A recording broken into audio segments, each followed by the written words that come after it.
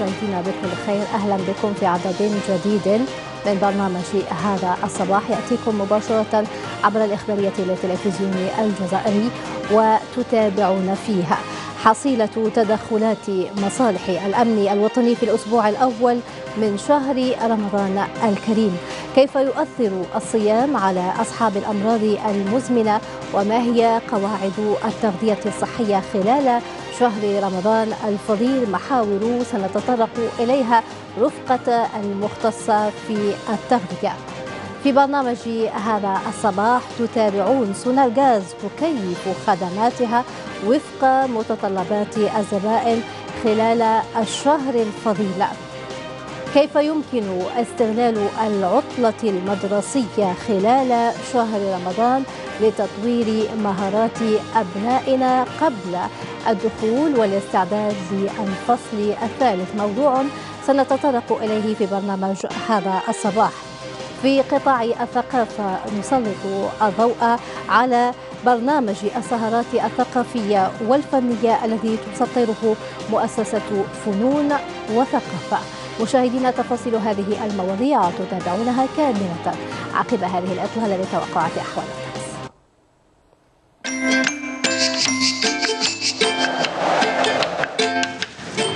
موبيليس تقدم لكم الأحوال الجوية.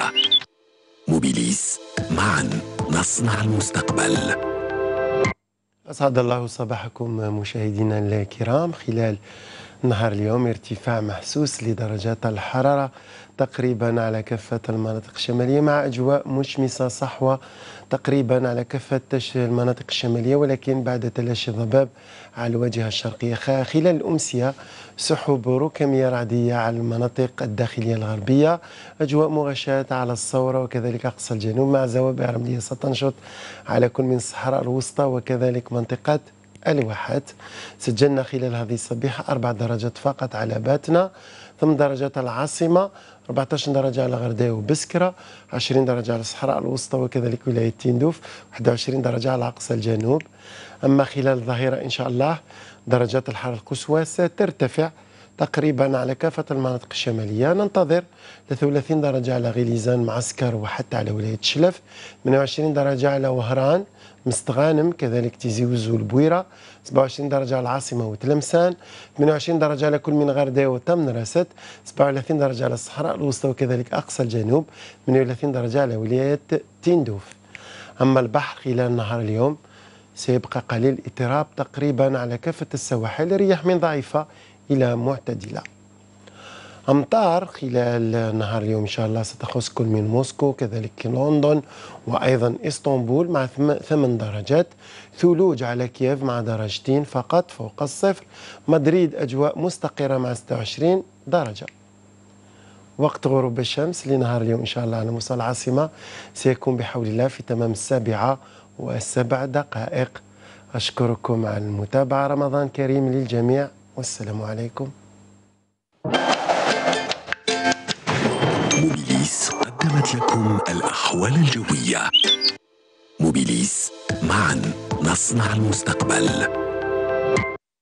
أهلا بكم مشاهدينا من جديد في برنامج هذا الصباح الذي يرافقكم على مدار ساعتين من الزمن وإلى غاية تمام الحادي عشر صباحا بفقراتنا وأركاننا الخدماتية المتنوعة والمستهل بحصيلة تدخلات مصالح الأمن العمومي خلال الأسبوع الأول من الشهر الفضيل وبرنامج المديرية العامة للأمن الوطني لتأمين المواطنين في شهر رمضان للحديث عن هذا الموضوع. الموضوع يحضر معنا ممثل عن مديرية الأمن العمومي سيادة العميد نبح زوابي. أهلا وسهلا. شكرا بارك الله فيك. إذا سيادة العميد بعد انقضاء ستة أيام من الشهر الفضيل ما هي حصيلة تدخلاتكم فيما يخص حوادث المرور وحصيلة أيضا الضحايا؟ شكرا. اولا بسم الله الرحمن الرحيم وبعد على غير العادة تحية أمنية إعلامية إيمانية مفعمة بنفحات هذا الشهر الفضيل. وبعد أحبتي الأكارم مشاهدينا الأفاضل سلام الله يخشاكم وحفظ الله يرعاكم وعلى الأمن والأمان. نلقاكم في هذه التغريدة التي نخصصها لجملة الإجراءات وكعملية تقييمية وتقويمية للحصيلة الأولى للأسبوع الأول من شهر رمضان. وتبقى هذه القراءات الإحصائية هي وسيلة للتحليل وطريقة للتنبؤ وعلى أساسها نتخذ جملة من الإجراءات التي من خلالها نسعى إلى تفادي حوادث المرور وأيضا ضمان انسيابية حركة المرور حتى يكون رمضان بأقل حوادث إن شاء الله. نعود إلى القراءة الرقمية أو الإحصائية لحصيلة حوادث حوادث المرور للأسبوع الأول التي الذي يتزامن مع شهر رمضان الكريم. هنا سجلت مصالح الأمن الوطني في إقليم اختصاصها ما يتعلق بعدد حوادث المرور 313 حادث مخلفة 393 جريح ومخلفة 14 حالة وفاة على المستوى الوطني. وعندما نحلل أكثر لأن هذه الأرقام كما قلت تبقى وسيلة للتحليل وطريقة للتنبؤ وعلى أساسها نتخذ الإجراءات المناسبة من خلال تفكيك آه، آه، حوادث المرور أو قراءة حوادث المرور إلى جزئيات حتى نبحث عن الإشارات الضعيفة ونحولها إلى القوى المحركة. لاحظنا بأنه من بين المؤشرات الأخيرة أنه الفترات الأخيرة قبل الإفطار هي التي تكثر فيها حوادث المرور من خلال الإفراط السرعة وذلك من خلال عدم تنظيم الوقت في هذا الإطار. وهنا تسعى مصالح الأمن الوطني إلى تكثيف التواجد الأمني والإجراءات الأمنية بما في ذلك الإجراءات التحسيسية حتى نتفادى حوادث المرور عشية شهر رمضان نعم. إن شاء الله. أفهم من كلامكم سيادة العميد أنه في دراسة متعلقة بحوادث المرور خلال الشهر الفضيل آه، لتحديد أوقات الأوقات التي تكثر فيها حوادث المرور يعني قبيل الإفطار بلحظات وأيضا في الصباح الباكر وهذا نتيجة التعب والإرهاق وأيضا النعاس خصوصا مع النوم المتقطع خلال الشهر الفضيل شكرا بارك الله فيك. إذا في هذا الإطار تراهن المديرية العامة للأمن الوطني أولا إلى تكثيف وتكثيف العمل الأمني والتكيف مع خصوصية وقدسية هذا الشهر لأنه خلال شهر رمضان الكريم ربما تكثر السهرات الرمضانية مما ربما ينقص النوم في في الفترة الليلية مما يترتب عليه التعب والإرهاق أثناء السياقة مما يجب أن نأخذ القسط الكافي خاصة أصحاب المسافات الطويلة لأن هذه من أبرز النقاط التي تؤدي إما للإفراط في السرعة وما يترتب عن الإفراط في السرعة هي حوادث المرور للأسف أو نقطة أخرى أيضا مهمة جدا في شهر رمضان الكريم علينا أن نضبط الوقت وفق متطلبات هذا الشهر وفق ساعات الإفطار لحظات الإفطار نعم. يجب أن تكون هناك احتياطات وإعادة ترتيب أمورنا تمشيا مع هذا مع هذا الشهر الفضيل وحتى نضمن الفوز بجواهر هذا الشهر إن شاء الله. علينا أن نذهب إلى نقطة مهمة وهي إدارة الوقت وتنظيم الوقت حتى لا نقع في فخ الإفراط في السرعه نعم. في اللحظات الأخيرة. وإذا لابد من التقيد بقانون السلامة المرورية أو قواعد السلامة المرورية. نعم قواعد السلامة المرورية هي قواعد قانونية والقانون قبل كل شيء هو مجموعة الضوابط والقواعد التي تنظم سلوكاتنا قبل علاقاتنا. اذا علينا أن نرقى إلى تهذيب سلوكاتنا خصوصا ونحن في هذا الشهر الفضيل شهر رمضان الذي أنزل فيه القرآن هدى للناس نحن نخاطب هنا الهداية المرورية إن شاء الله نعم. وذلك من خلال الاحترام المتبادل لكل الضوابط المرورية الارتقاء إلى مرافع الثقافة المرورية أو الوعي المروري حتى نتفادى حوادث المرور على مستوى طرقاتنا بدأنا بالقراءة الإحصائية لماذا؟ لأنها هي الوسيلة, للتح... الوسيلة للتحليل وطريقة للتنبؤ نفككها إلى جزئيات ونبحث عن الأسباب الخفية التي تؤدي إلى حوادث المرور من خلال توزيعها حسب الطابع الزماني والمكاني ربما نعم. بعض الأماكن خاصة في أوقات الذروة راح يكون هناك الاكتظاظ الفترة المسائية هناك الاكتظاظ هناك زحمة مرورية نعم. أيضا هنا يجب أن نبتعد قدر المستطاع عن النرفزة الاستعمال العقلاني للمركبة حتى لا ندخل في آه، فخ آه، النرفزة وفخ الازدحام المروري وكلها هي تتماشى وخصوصية هذا الشهر الفضيل بإذن الله بحول الله حصيلة حوادث المرور سيادة العميد فيما يتعلق بعدد الضحايا هذا الأسبوع إذا ما قارناها بالأسابيع الماضية هل هناك انخفاض في عدد الوفيات؟ هناك نعم ما يتعلق بعدد الوفيات. سجلنا ارتفاع في عدد الوفيات مقارنة بالأسبوع الذي سبق الشهر رمضان حيث لاحظنا ارتفاع يقدر بثمان حالات. في حين سجلنا انخفاض في عدد الجرحى غير أنه أيضا سجلنا وهو مؤشر إيجابي انخفاض يقدر بما يفوق 21% في عدد الحوادث المرورية. لكن لاحظنا هناك ارتفاع في عدد الوفيات مما يشير بأنه ربما تكون هناك صدمات قوية خاصة نعم. في اللحظات الأخيرة قبل الإفطار.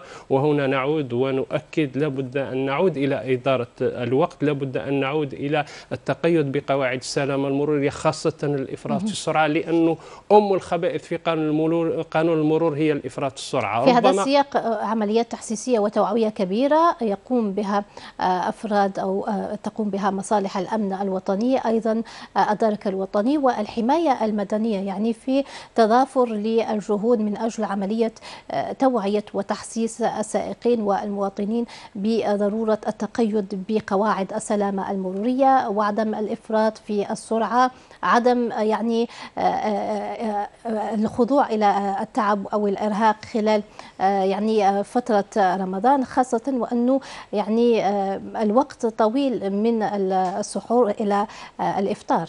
شكرا بارك الله فيك. لماذا نراهن على كل هذه العمليات التحسيسية والتوعوية والتي نعطيها طابع الشمولية والاستمرارية؟ نعم. أي نعم المديرية العامة للأمن الوطني؟ أطلقت خلال الأسبوع الأول هذه الحملة لتفادي الإفراط في السرعة في اللحظات الأخيرة قبل الإفطار لأن المؤشرات الإحصائية توحي بأنها هي الأولى في أسباب حوادث المرور. ثم يتم التنسيق مع كل المصالح الأمنية. التنسيق الأمني والإعلامي أيضا مهم ومهم جدا. حتى نمس أكبر شريحة ممكنة من المجتمع وتبقى هذا هو البعد الرئيسي لهذه الحملات لا. نعم. التحسيسية والأمنية الإعلامية المبنية على مرافع اليقظة المرورية بمعنى استباق المخاطر واستشراف النتائج حتى يكون رمضان بدون أحزان حتى يكون هناك رمضان بدون حوادث بإذن الله وهذا ما تراهن عليه المديرية العامة للأمن الوطني لأنه عندما نتكلم عن رمضان والصيام وكأنها شتان كلاهما استقامة وتقيد بكل هذه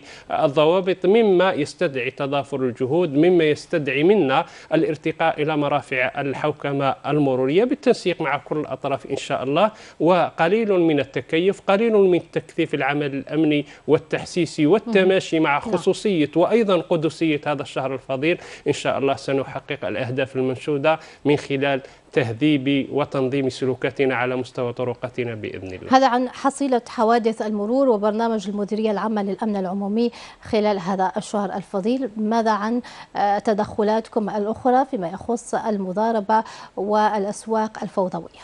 شكرا. نقطة غاية في الأهمية عندما نتكلم عن هذه النقطة. أولا نحن في شهر رمضان أخذنا جملة من الإجراءات عدة واعتادا واستعدادا من خلال أربع أو خمس محاور كبرى. أولا إعادة الانتشار تكيفا مع خصوصية هذا الحدث كما نعم.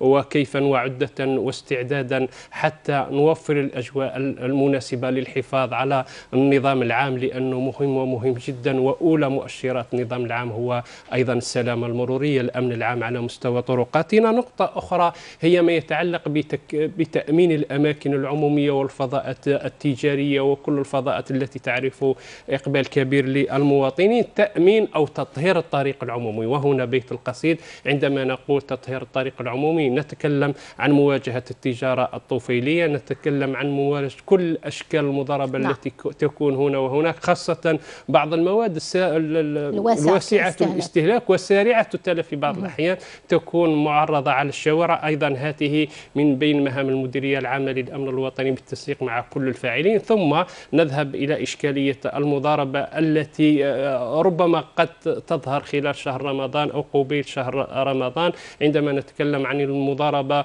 بمعنى تؤدي بنا إلى الندرة تؤدي بنا إلى رفع الأسعار تؤدي إلى التأثير على القدرة الشرائية للمواطنين خصوصا ونحن في شهر رمضان. من المفروض أن يكون شهر للتآزر وللتراحم إذا هذه الآليات وكل الإجراءات التي تقوم بها المديرية العامة للأمن الوطني لمواجهة كل أشكال المضاربة تكون مع المصالح المختصة مصالح المصالح المصالح التجارية التابعة لوزارة التجارة من خلال الدوريات والخرجات الميدانية نعم. المتواصلة وحتى الفجائية حتى نواجه كل هذه الإشكاليات ولكن تبقى من أبرز الآليات لمواجهة إشكالية المضاربة. لابد أن تكون هناك استراتيجية وطنية مدروسة حتى نضمن توازن السوق استقرار الأسعار والحفاظ على القدرة الشرائية لمواطنينا. من خلال رقمنة وعصرنة المراقبة التجارية أو العمل التجاري وأيضا ضمان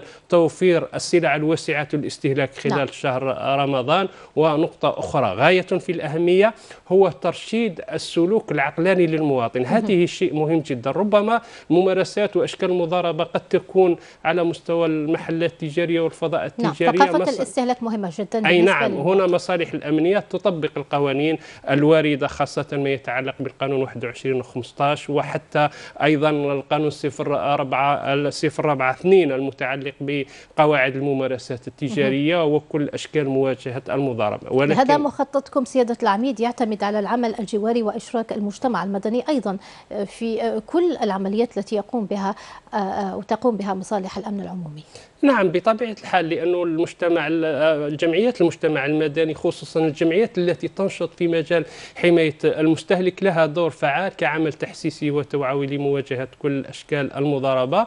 وأيضا التنسيق مهم جدا مع كل القطاعات والفاعلين ثم نذهب إلى بيت القصيد وهو مواجهة المضاربة على مستوى المنازل. نعم. بمعنى الترشيد وعقلنة الاستهلاك العقلاني لمواطنينا خاصة المواد الواسعة الاستهلاك وأيضا يجب أن تكون هناك دراسة وتحليل للسوق لأنه الممارسات التجارية لا نتكلم عن التجارة أو التسويق فقط بل نتكلم عن آلية الإنتاج ثم التخزين ونقطة أخرى التوزيع وحتى التسويق. بمعنى السلاسل التجارية كلها معنية في هذا الإطار مما يتطلب قدر عالي من المسؤولية التنسيق مع كل القطاعات المعنية وهنا بإذن الله تبقى المصالح الأمن الوطني تدعم إجراءاتها الرقابية والتعاونية مع المصالح التجارية لمواجهة كل أشكال المضاربة بإذن الله. بحول الله شكرا جزيلا لكم سيادة العميد رابح زواوي أنتم ممثل عن مديرية الأمن العمومي على كل التفاصيل التي تفضلتم بها. في أمان الله.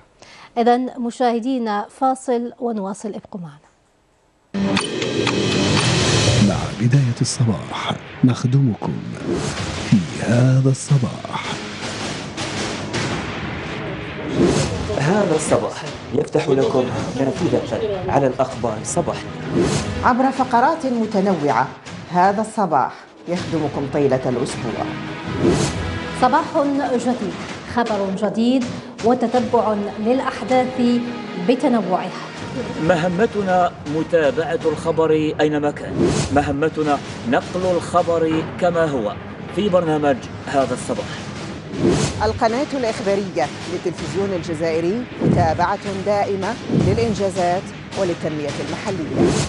السياسة الاقتصاد الثقافة والمجتمع. كل هذه المجالات والقطاعات حاضرة في هذا الصباح. سأكون معكم. أنا عفاف بلادة في هذا الصباح. أنا فتحي يعقوب انتظروني في هذا الصباح. أنا أسماء فتحي انتظروني في برنامج هذا الصباح.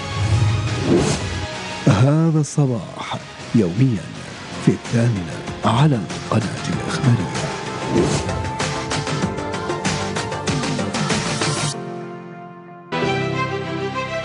التلفزيون الجزائري عبر منصات الإعلام الجديد. موقع إلكتروني باللغة العربية والإنجليزية والفرنسية. يتابع الأخبار والأحداث الوطنية والدولية. محتويات تفاعلية نحاكي فيها عناصر الخبر في حلة رقمية.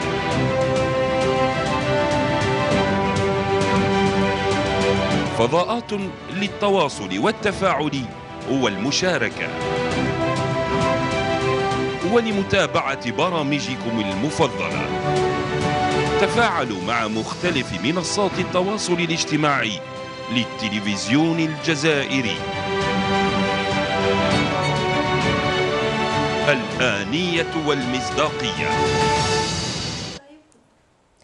أهلا بكم من جديد. إلى ملف الصحة حيث سنتطرق اليوم إلى القواعد الغذائية خلال الشهر الفضيل وتأثير الصوم على المصابين بالأمراض المزمنة وكل النصائح والإرشادات مع المختصة في التغذية.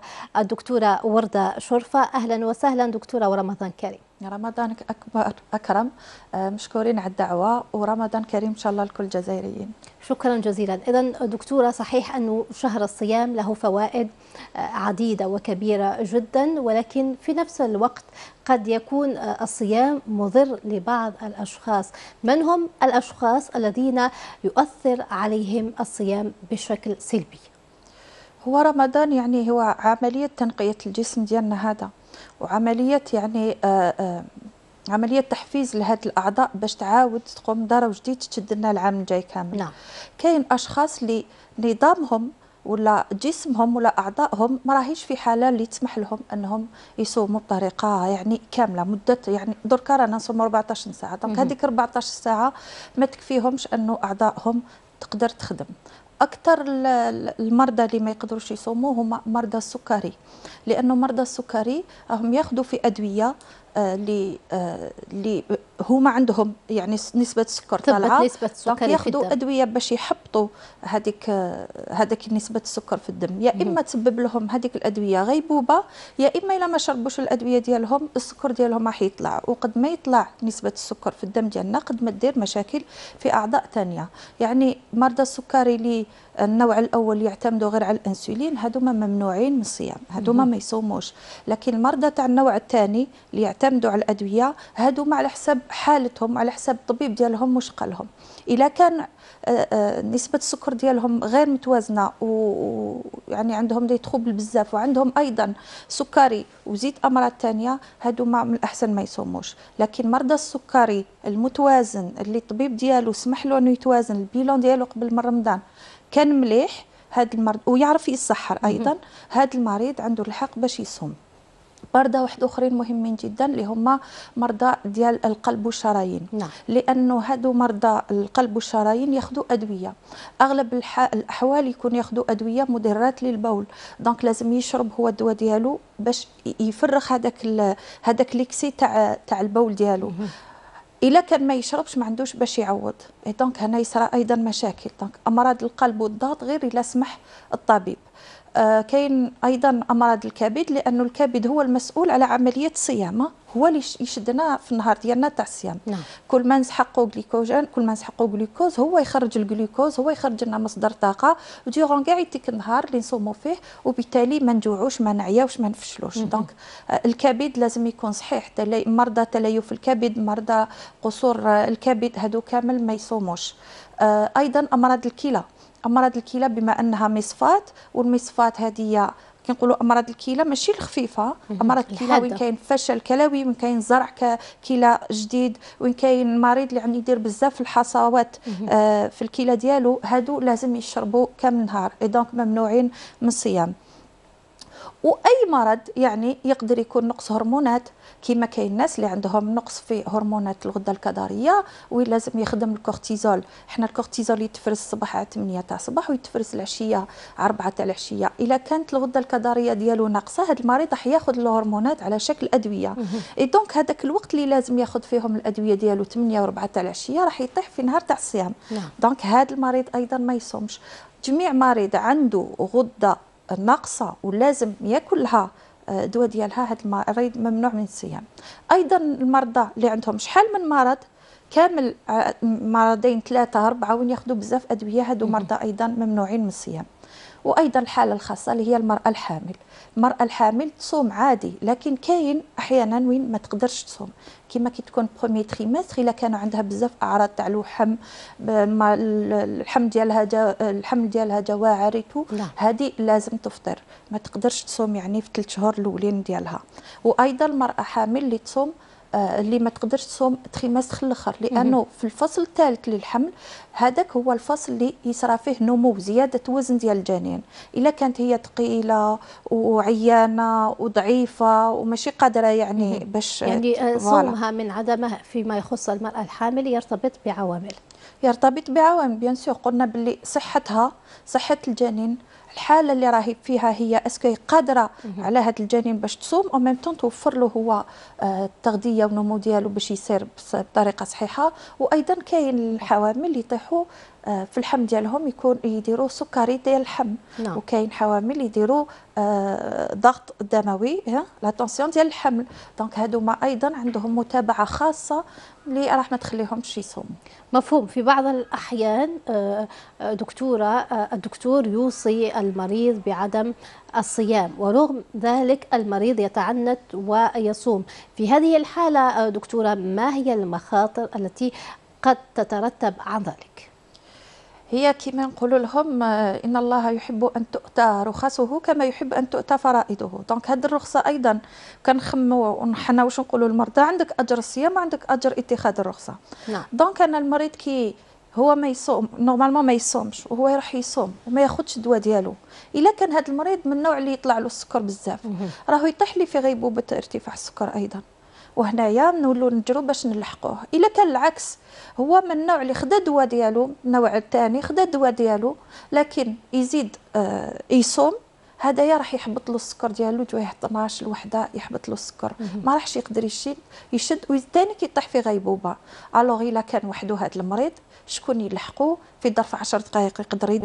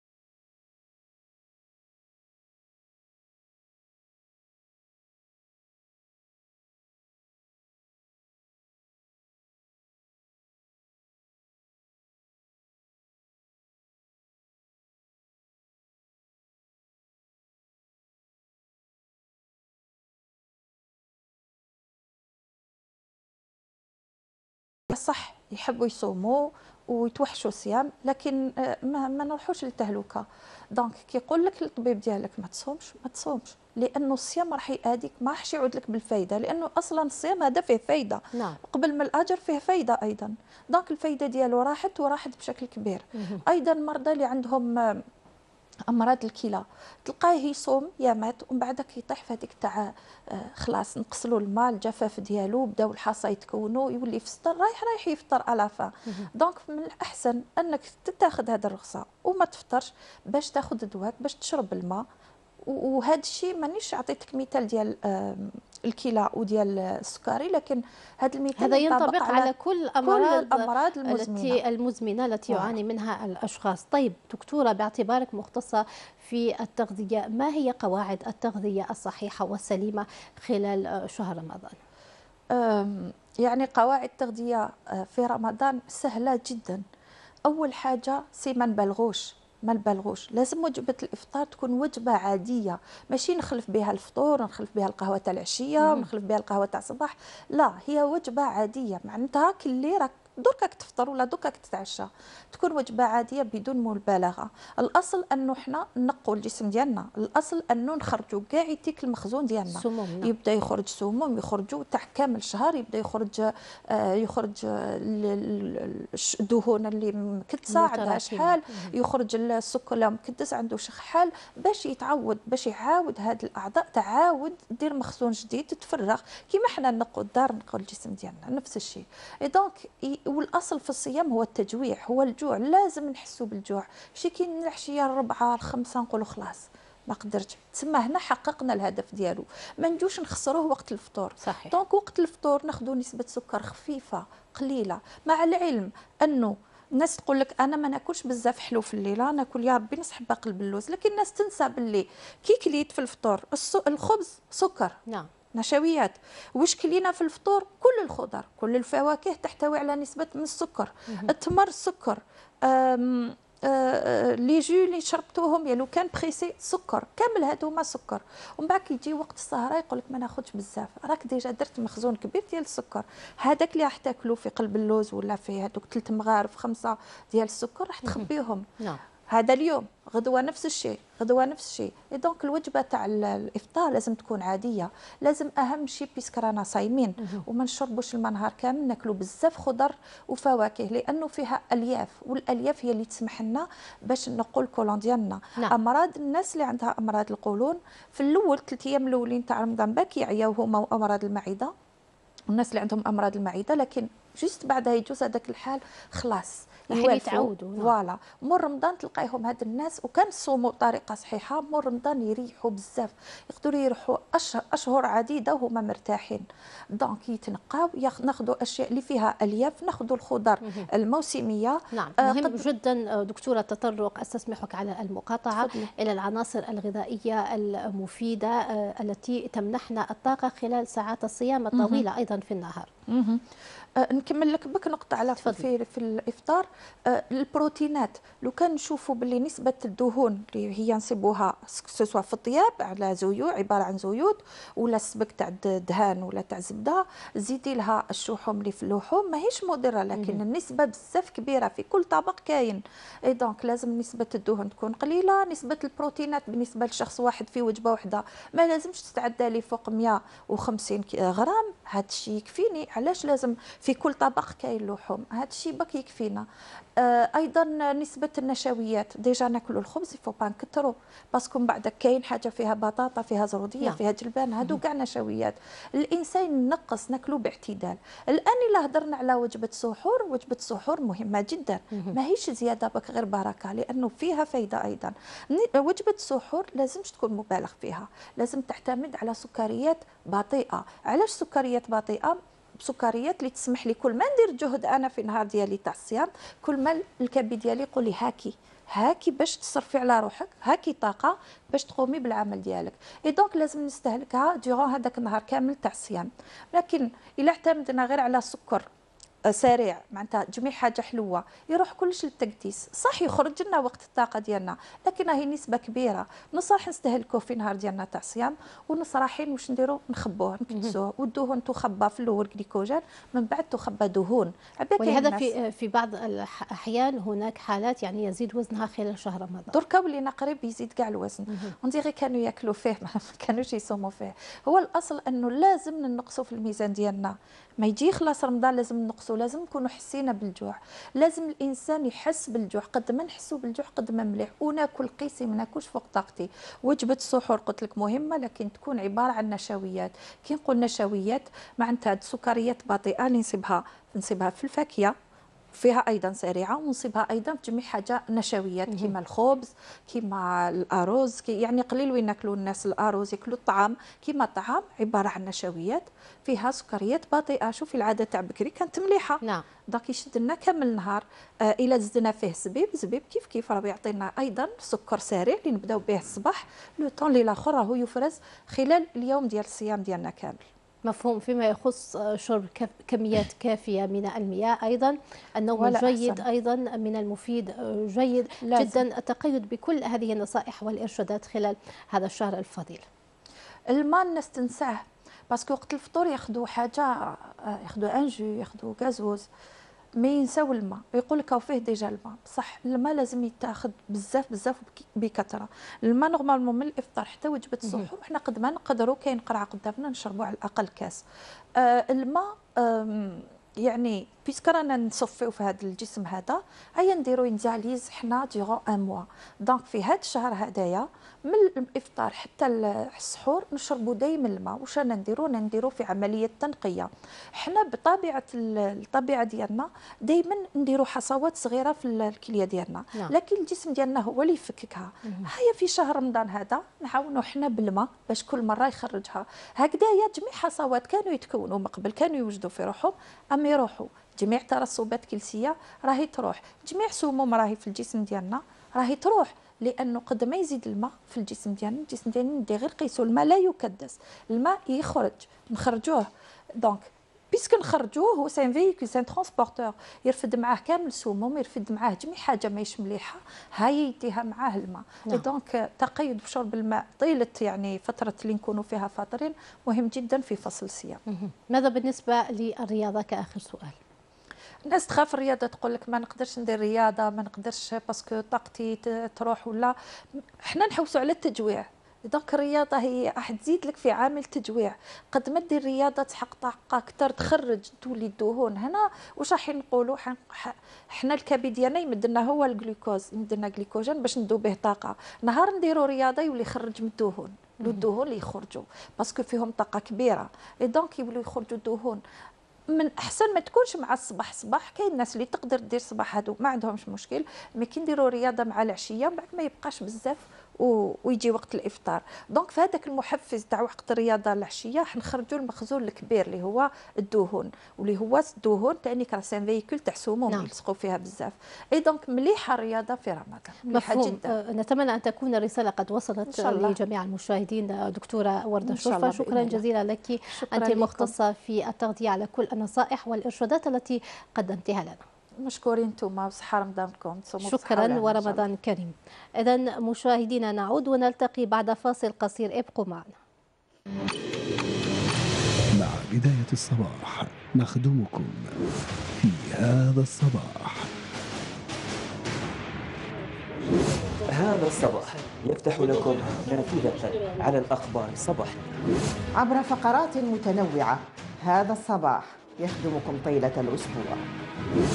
صباح جديد خبر جديد وتتبع للأحداث بتنوعها مهمتنا متابعة الخبر أينما كان. مهمتنا نقل الخبر كما هو.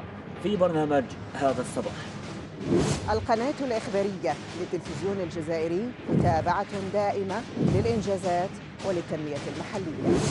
السياسة الاقتصاد الثقافة والمجتمع.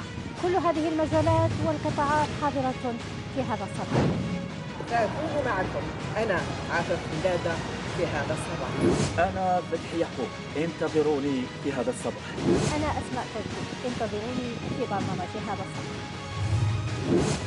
هذا الصباح يوميا في الثامنة على القناة الإخبارية.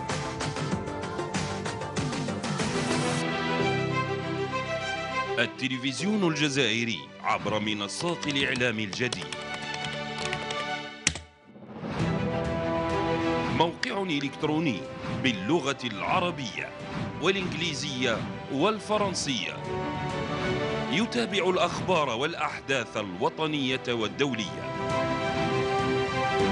محتويات تفاعلية نحاكي فيها عناصر الخبر في حلة رقمية.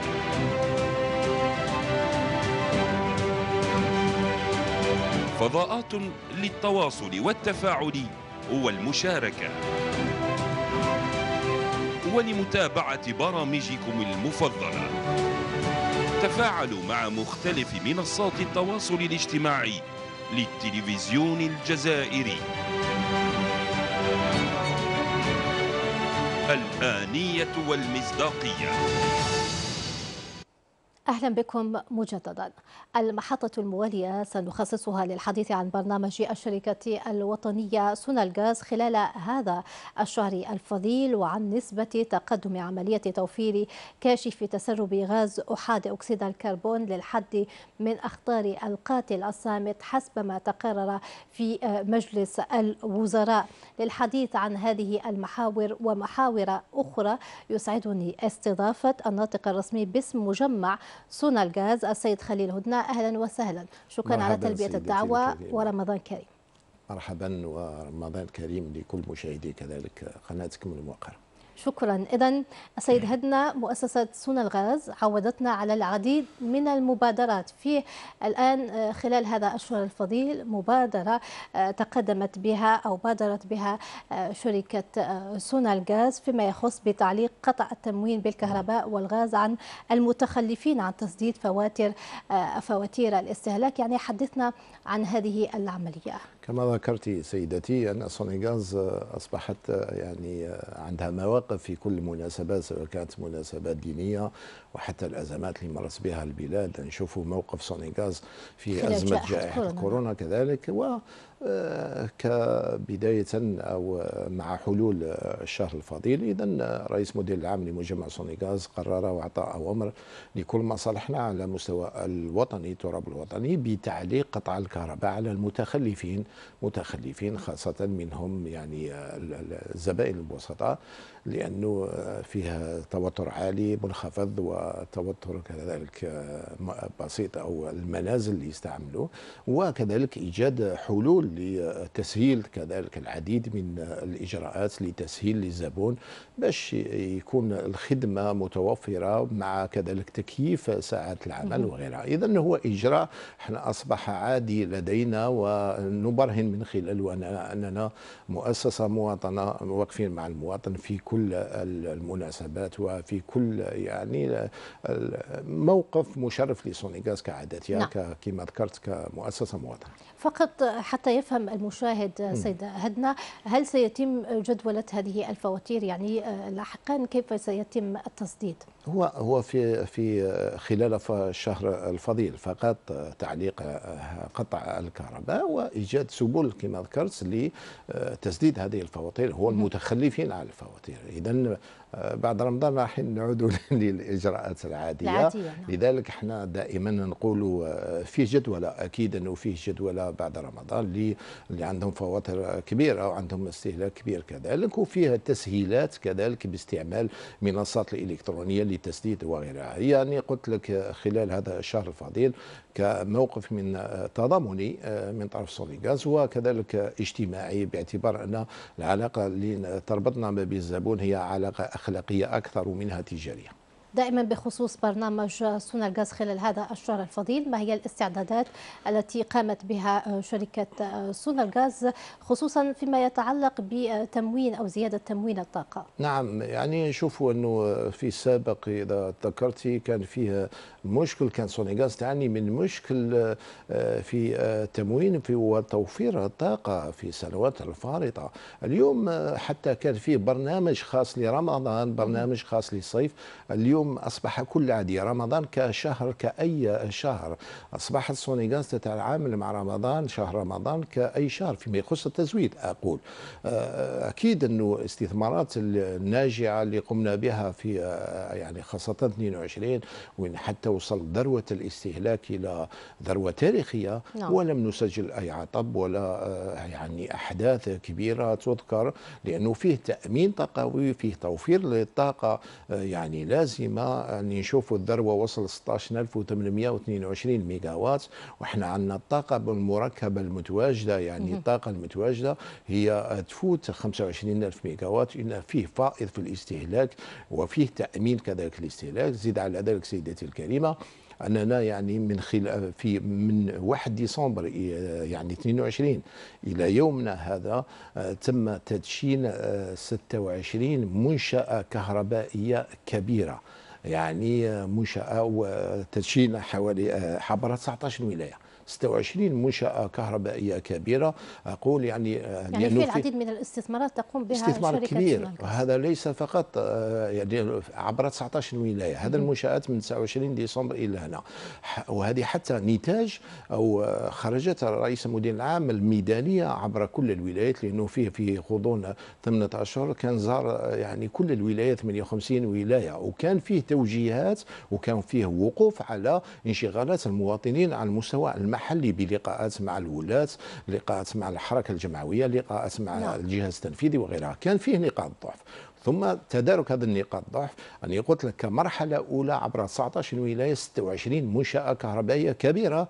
هذه يعني فيها يعني محولات فيها محطات متنقلة فيها آه، إعادة تأهيل لشبكة وغيرها وهذا يستفاد بها ليس فقط المواطن وحتى المناطق الناشطات مناطق الصناعية المستثمرات الفلاحية وحتى محطات تحلية المياه. إذا فيه وفرة في الكهرباء في تدعيم لهذا الكهرباء المتواجدة وذلك باش يكون فيه حيوية أكثر خاصة منها صناعية واستثمارية سيدتي. جيد تطبيقا لقرارات رئيس الجمهورية آه، تقرر تكليف مؤسسة سونا الغاز بتوفير كواشف تسربات غاز احادي أكسيد الكربون حماية للعائلات وللحد من الاختناق آه، القاتل الصامت أو حوادث نعم. القاتل الصامت الآن إلى أين وصلت العملية هل تم تم آه، يعني توزيع عدد من آه، الكواشف على العائلات وماذا بالنسبة للبقية؟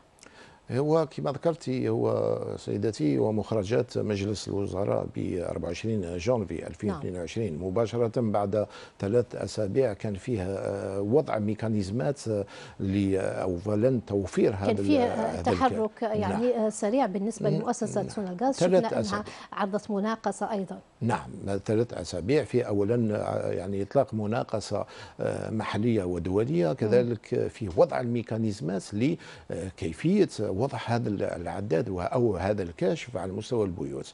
كان في أول خرجة هي آه، أول كاشف وضع في بوسعادة في مسيلة بعد ثلاثة أسابيع. ثم توفير كمرحلة أولى توفير خمسة مئة ألف كاشف.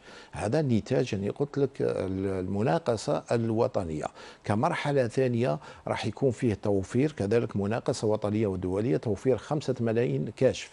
كمرحلة ثالثة راح يكون فيه تصنيع الكاشف على المستوى المحلي من طرف مؤسسة سونيغاز يعني خاصة فرع صايغ هذا الشركة الجزائرية للصناعات الكهربائية والغازية. إذا فيه سرعة في آه، توفير هذا الكاشف. آه، لماذا؟ لأنه أولا خصت 21 ولاية من الهضاب العليا اللي وضعنا هذا الكاشف باش نوضعوه والعملية راهي جارية. آه، قلت لك 21 ولاية الهضاب العليا لماذا؟ لأنه فيه برودة الطقس فيها ظروف مناخية ثم تعمم على كل ولايات المهم آه، يعني آه، التزام السيد رئيس مدير العام لمجمع سونيغاز هو توفير آه، 22 آه، وحدة من هذه الكواشف وراح تعمم على كل المواطنين.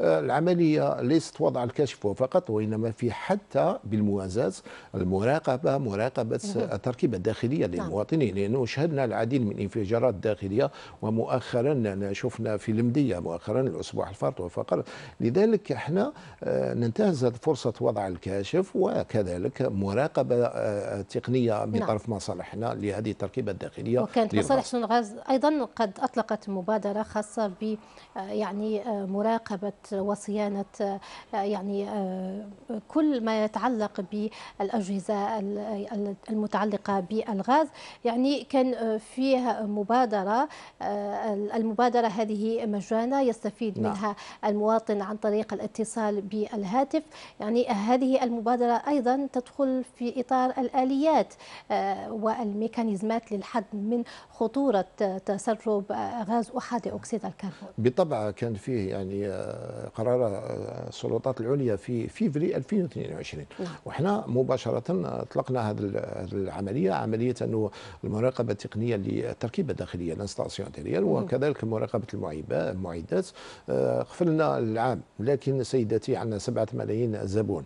لم نتلقى سوى آه، يعني متعداتش الألف زبون اللي اتصل بنا رغم أنه هذه العملية مجانيا ويقوموا بها مجانية ويقوموا بها مصالح آه، سونلغاز على مستوى يعني كل منزل ما على المواطن إلا اتصال ب 33 صفر 3 ثم إحنا نتنقلوا. لكن آه، أنا قلت لك وضع الكاشف ثم مراقبة تقنية كذلك فيه المخابر. لأننا أمرنا من طرف السيد رئيس الجمهورية بإنشاء مخابر لمعاينة هذه المعدات.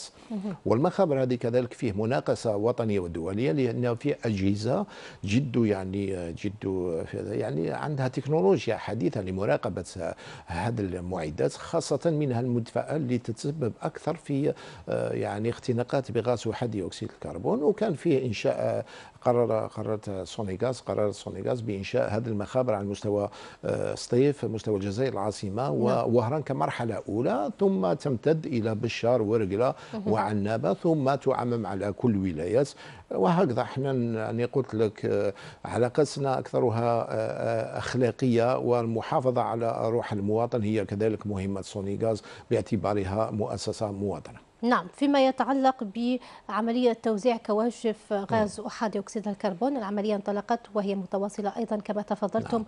وقلتم الآن فيها اتفاقية مبرمة مع الجامعة الجزائرية لتصنيع هذا الجهاز. يعني هل من تفاصيل حول هذه النقطة سيد هدنة؟ أكيد أنه مباشرة بعد وضع الكشف الأول كان فيه اتفاقية وكان فيه يعني إجراءات مع الجامعة الجزائرية لتصنيع الجهاز محليا لا لا لدرا لوضع الدراسة أولا باش نوضعوا إحنا الدراسة ونعطيو الفرصة للشباب الجزائري باش هما اللي يجيبوا هذاك لو كونسيبت أو لا لا لا لا يعني باش يخموا في هذا المشروع كمشروع نعم. كمشروع وسوني غاز تقوم بتصنيعه. هذه المرحله الثالثه اذا إحنا لما كان فيه كانت فيه يعني كان فيه كان أمر عاجل بتوفير هذا الكاشف رحنا للمناقصة الوطنية.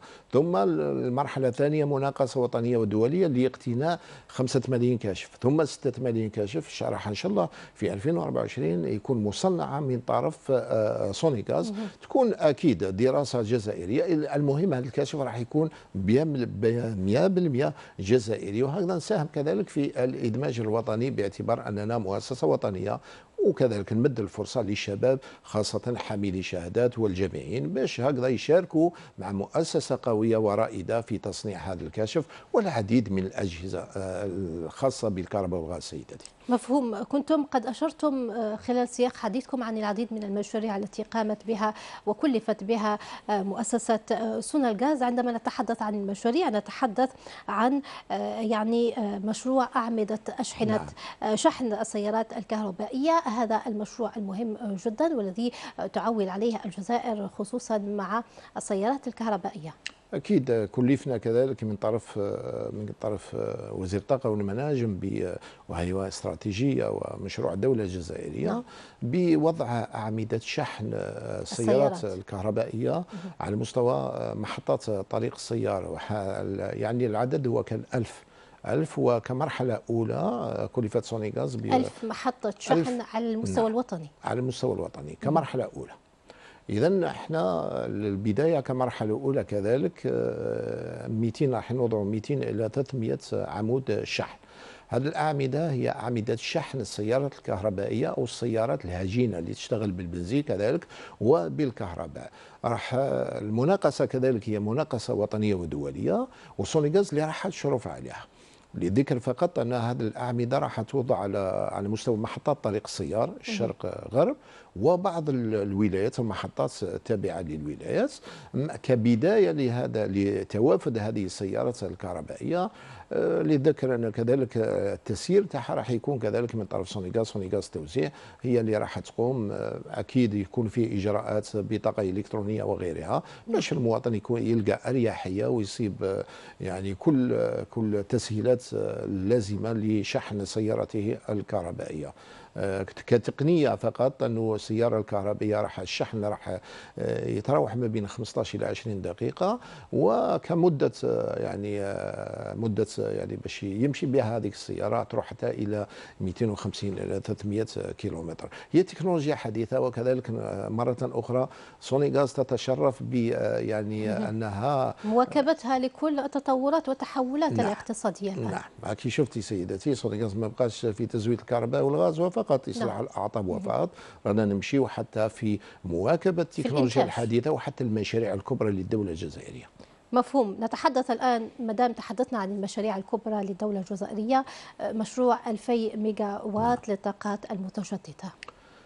ومشروع الدولة الجزائرية باقتناء أو بتوفير 15000 ميجا وات على مدى 2035 وكمرحلة أولى كذلك هي آه، توفير 2000 ميجا وات 2000 ميجا وات وكلفت سونيغاز بإنجاز هذا المشروع آه، من خلال آه، سونيغاز الطاقات المتجددة وهي فرع لمجمع سونيغاز المناقصة ستنتهي إلى نهاية ماي أو فتح الأظرفة إلى نهاية ماي.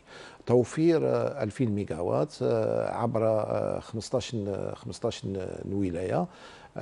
أو 15 محطة ل 11 ولايه هي 15 محطه ل 11 ولايه، الولاية هذه آه، فيها ولاية آه، يعني الهضاب العليا وكذلك ولاية الجنوب فيه تقنيات وفيه معايير آه، مثلا تواجد يعني أكثر كميه نعم. للشمس نعم. طبيعية وغيرها وتقنية كذلك لأنه هذه الولايات راح هذه الطاقة المتجددة راح تبث مباشرة في الشبكة الوطنية لسونيغاز هي من طرف سونيغاز اذا يعني وش يكون في الملف هذا يكون فيه اولا اولا الدراسة وضع المشروع إنجاز المشروع التكوين وغيرها. وسونيغاز مرة أخرى كلفت بإنجاز هذا المشروع للذكر. أن عندنا ديجا محطات يعني عندنا من قبل محطات عندنا 23 محطة ما بينها محطة بدأت تشتغل بالطاقة الهوائية طاقة الهواء. و22 محطة بالطاقة الشمسية على المستوى الوطني. يعني الطاقات المتجددة أصبحت محور مهم جدا نعم. لدى شركة سونالغاز. نعم تسير. عندنا هذه المحطات رانا نسير فيها. وين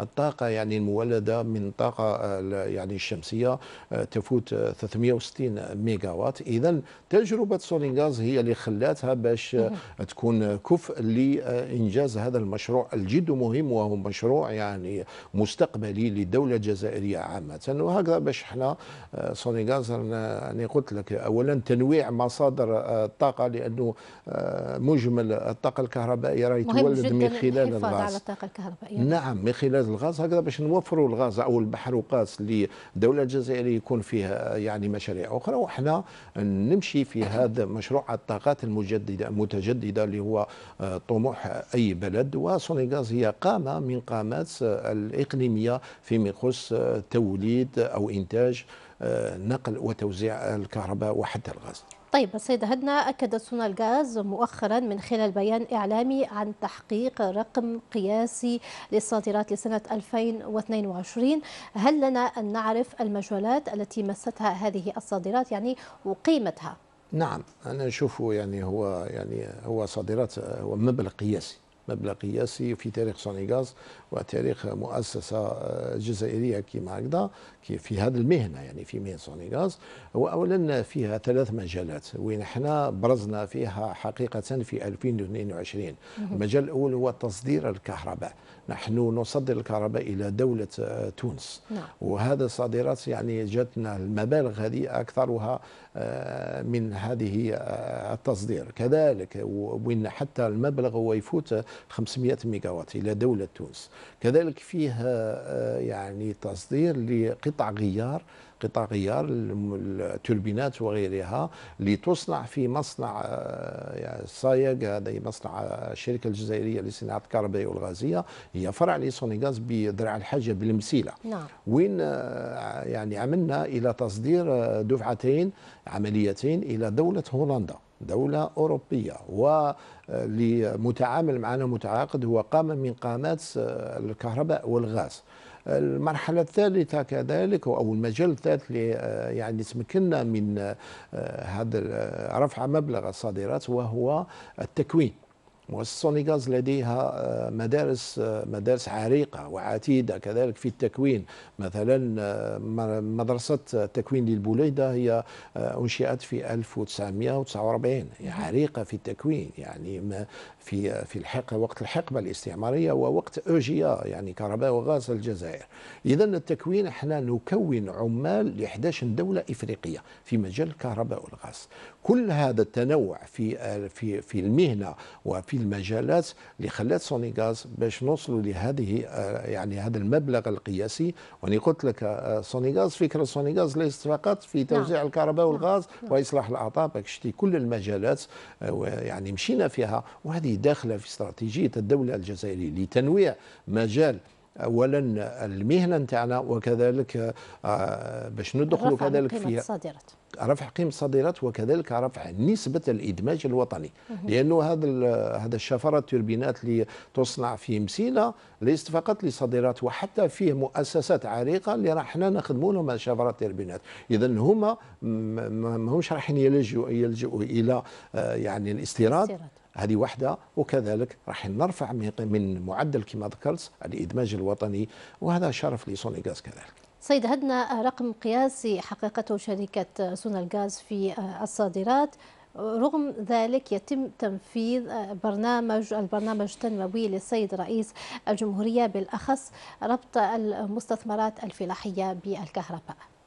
يعني برنامج السيد رئيس الجمهورية كان فيه مناطق الظل وين إحنا مشينا خطوة كذلك عملاقة في هذا المجال وربط العديد من مناطق الظل بالكهرباء والغاز كذلك ربط الصناعيين والمحطات مناطق نعم. النشاطات سواء كان صناعيه هنا نفهم أنه في خطة على المستوى الوطني والدولي أيضا. أكيد أكيد. وكذلك المستثمرات الفلاحيه اللي هو شرف كبير أننا مشينا خطوه عملاقة كذلك في تنفيذ برنامج السيد رئيس الجمهورية في ربط المستثمرات الفلاحيه والمحيطات الزراعية. في 2000 كان عندنا مبتغى وكان عندنا هدف ل يعني سطرتنا السلطات العليا في 2022 30 ألف مستثمرة فلاحية. تم ربطها وفتنا هذه العتبة كذلك. المبتغى ل 23 2023 هو ربط 48 ألف مستثمرة فلاحية وراح نمشيو حتى أكثر من 50 ألف مستثمرة فلاحية وكذلك بالموازاة من الربط هو سرعة الربط يعني احترام الآجال وكذلك التسهيلات اللي وضعتها سونيغاز للفلاحين. آه سيداتي إحنا الفلاحين هذو يجي قائمة من عند مصالح الفلاحية ويكون فيه توافق مع المديريه المحليه لسونيغاز وفيه تسهيلات أننا أن يتم مباشرة الأشغال وربطهم بالكهرباء دون دفع مسبق. نعم. من طرف الفلاح وهذا تشجيع. هذا يدخل في إطار التسهيلات كثير كذلك وهذا تشجيع اولا. وأنا شفنا العديد من الفلاحين بدأوا ينجزوا كذلك. ووفروا هذيك الدراهم اللي كانوا يمدوها لسونيغاز قبل ما ذاك بجدولة. وهذا تسهيل راح يشجع الفلاح للإنتاج يكون فيه اكتفاء محلي اكتفاء وطني. ويكون فيه تأمين غذائي للجزائر عامة. ومرة أخرى سونيغاز تتشرف بأنها تشارك وتساهم في نجاح هذا البرنامج برنامج العام للسيد رئيس الجمهورية. بالتوفيق لكم السيد هدنا شكرا جزيلا لكم. أنتم الناطق الرسمي باسم مؤسسة سونا الغاز شكرا ورمضان كريم. شكرا سيدتي. إذا مشاهدينا نذهب الآن مباشرة إلى غرفة الأخبار لمتابعة موجز لأهم الأنباء ثم نعود لاستكمال برنامج هذا الصباح.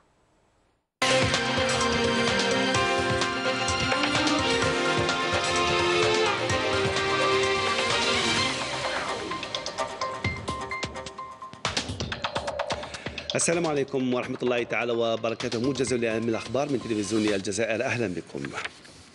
بداية وبصفته منسقا للاتحاد الإفريقي حول مكافحة الإرهاب والتطرف العنيف في إفريقيا وجه رئيس الجمهورية كلمة إلى مجلس الأمن للأمم المتحدة تم نشرها واعتمادها كوثيقة رسمية للمجلس قصد الاسترشاد بها خلال النقاش رفيع المستوى لبحث تطورات هذه الآفة في إفريقيا وسبل محاربتها. السيد الرئيس أبرز الجهود الجماعية المبذولة من قبل الدول الإفريقية للتصدي لهذه الآفة وانعكاساتها وتقدم باقتراح مسارات مسارات عمل جديدة من شأنها تعزيز التعاون الدولي في هذا المجال. وفي ظل سياق عالمي يتسم بالاضطراب والاستقطاب أكد رئيس الجمهورية أن ما تواجهه إفريقيا هو تهديد عالمي لا يعترف بالحدود وأنه لا ينبغي في أي حال من الأحوال مساومته والنضال المشروع للشعوب الرازحة تحت الاحتلال من أجل استرجاع حقوقها المسلوبة وعلى رأسها حق حقها غير القابل للتصرف أو التقادم في تقرير المصير والاستقلال على ضوء قرارات الشرعية الدولية. هذا واطلع السيد الرئيس مجلس الأمن على أطلع مجلس الأمن على المبادرة التي تقدمت بها الجزائر بهدف إضفاء ديناميكية جديدة على جهود مكافحة الإرهاب في منطقة الساحل والصحراء. وبالمناسبة أكد رئيس الجمهورية التزام الجزائر بتعزيز العمل الإفريقي المشترك لمكافحة الظاهرة ضمن مقاربة شاملة تتجاوز علاج الأعراض وتركز على الأسباب الجذرية والعوامل المغذية لهذه الآفة وفي السياق أكد رئيس الجمهورية دعم الجزائر للآليات والوكالات الإفريقية المتخصصة في مكافحة الإرهاب والتطرف العنيف داعيا الشركاء الدوليين إلى العمل معا في إطار أممي لدعم الجهود الإفريقية. وفي الأخير أعرب السيد الرئيس عن تطلع الجزائر لتعزيز مساهمتها القارية عبر ترشيحها لأقول لشغل مقعد غير دائم في مجلس الأمن خلال الفترة 2024-2025 بهدف تكثيف التعاون مع الأشقاء الأفارقة والشركاء الدوليين للحفاظ على السلم والأمن في العالم. أجرى رئيس أمس رئيس الجمهورية مكالمة هاتفية مع السيد سيرجو ماتاريلا رئيس الجمهورية الإيطالية الصديقة الذي قدم له وللشعب الجزائري تهانيه بمناسبة حلول شهر رمضان الفضيل. الرئيسان تناولا الاجتماع المقبل للطبعة التاسعة لمنتدى الحوار المتوسطي رفيع المستوى حيث قابل السيد الرئيس دعوة نظيره الإيطالية للمشاركة في الطبعة القادمة. وبالمناسبة ذاتها تطرق الطرفان إلى العلاقات الثنائية معربين عن ارتياحهما لوتيرة التعاون الثنائي المحقق حيث أكد على تعزيز التوافق التام والصداقة العميقة والمتجذرة التي تجمع البلدين الصديقين. كما استعرض الرئيسان ملفات إقليمية ودولية ذات الاهتمام المشترك تصب في مصلحة المنطقة واستقرارها. تلقى مساء أمس رئيس الجمهورية السيد عبد المجيد التبون مكالمة هاتفية من أخيه السيد رجب طيب أردوغان رئيس الجمهورية التركية الشقيقة. هنأه فيها والشعب الجزائري بحلول شهر رمضان الكريم. بدوره هنأ السيد الرئيس أخاه الرئيس أردوغان والشعب التركي بذات المناسبة.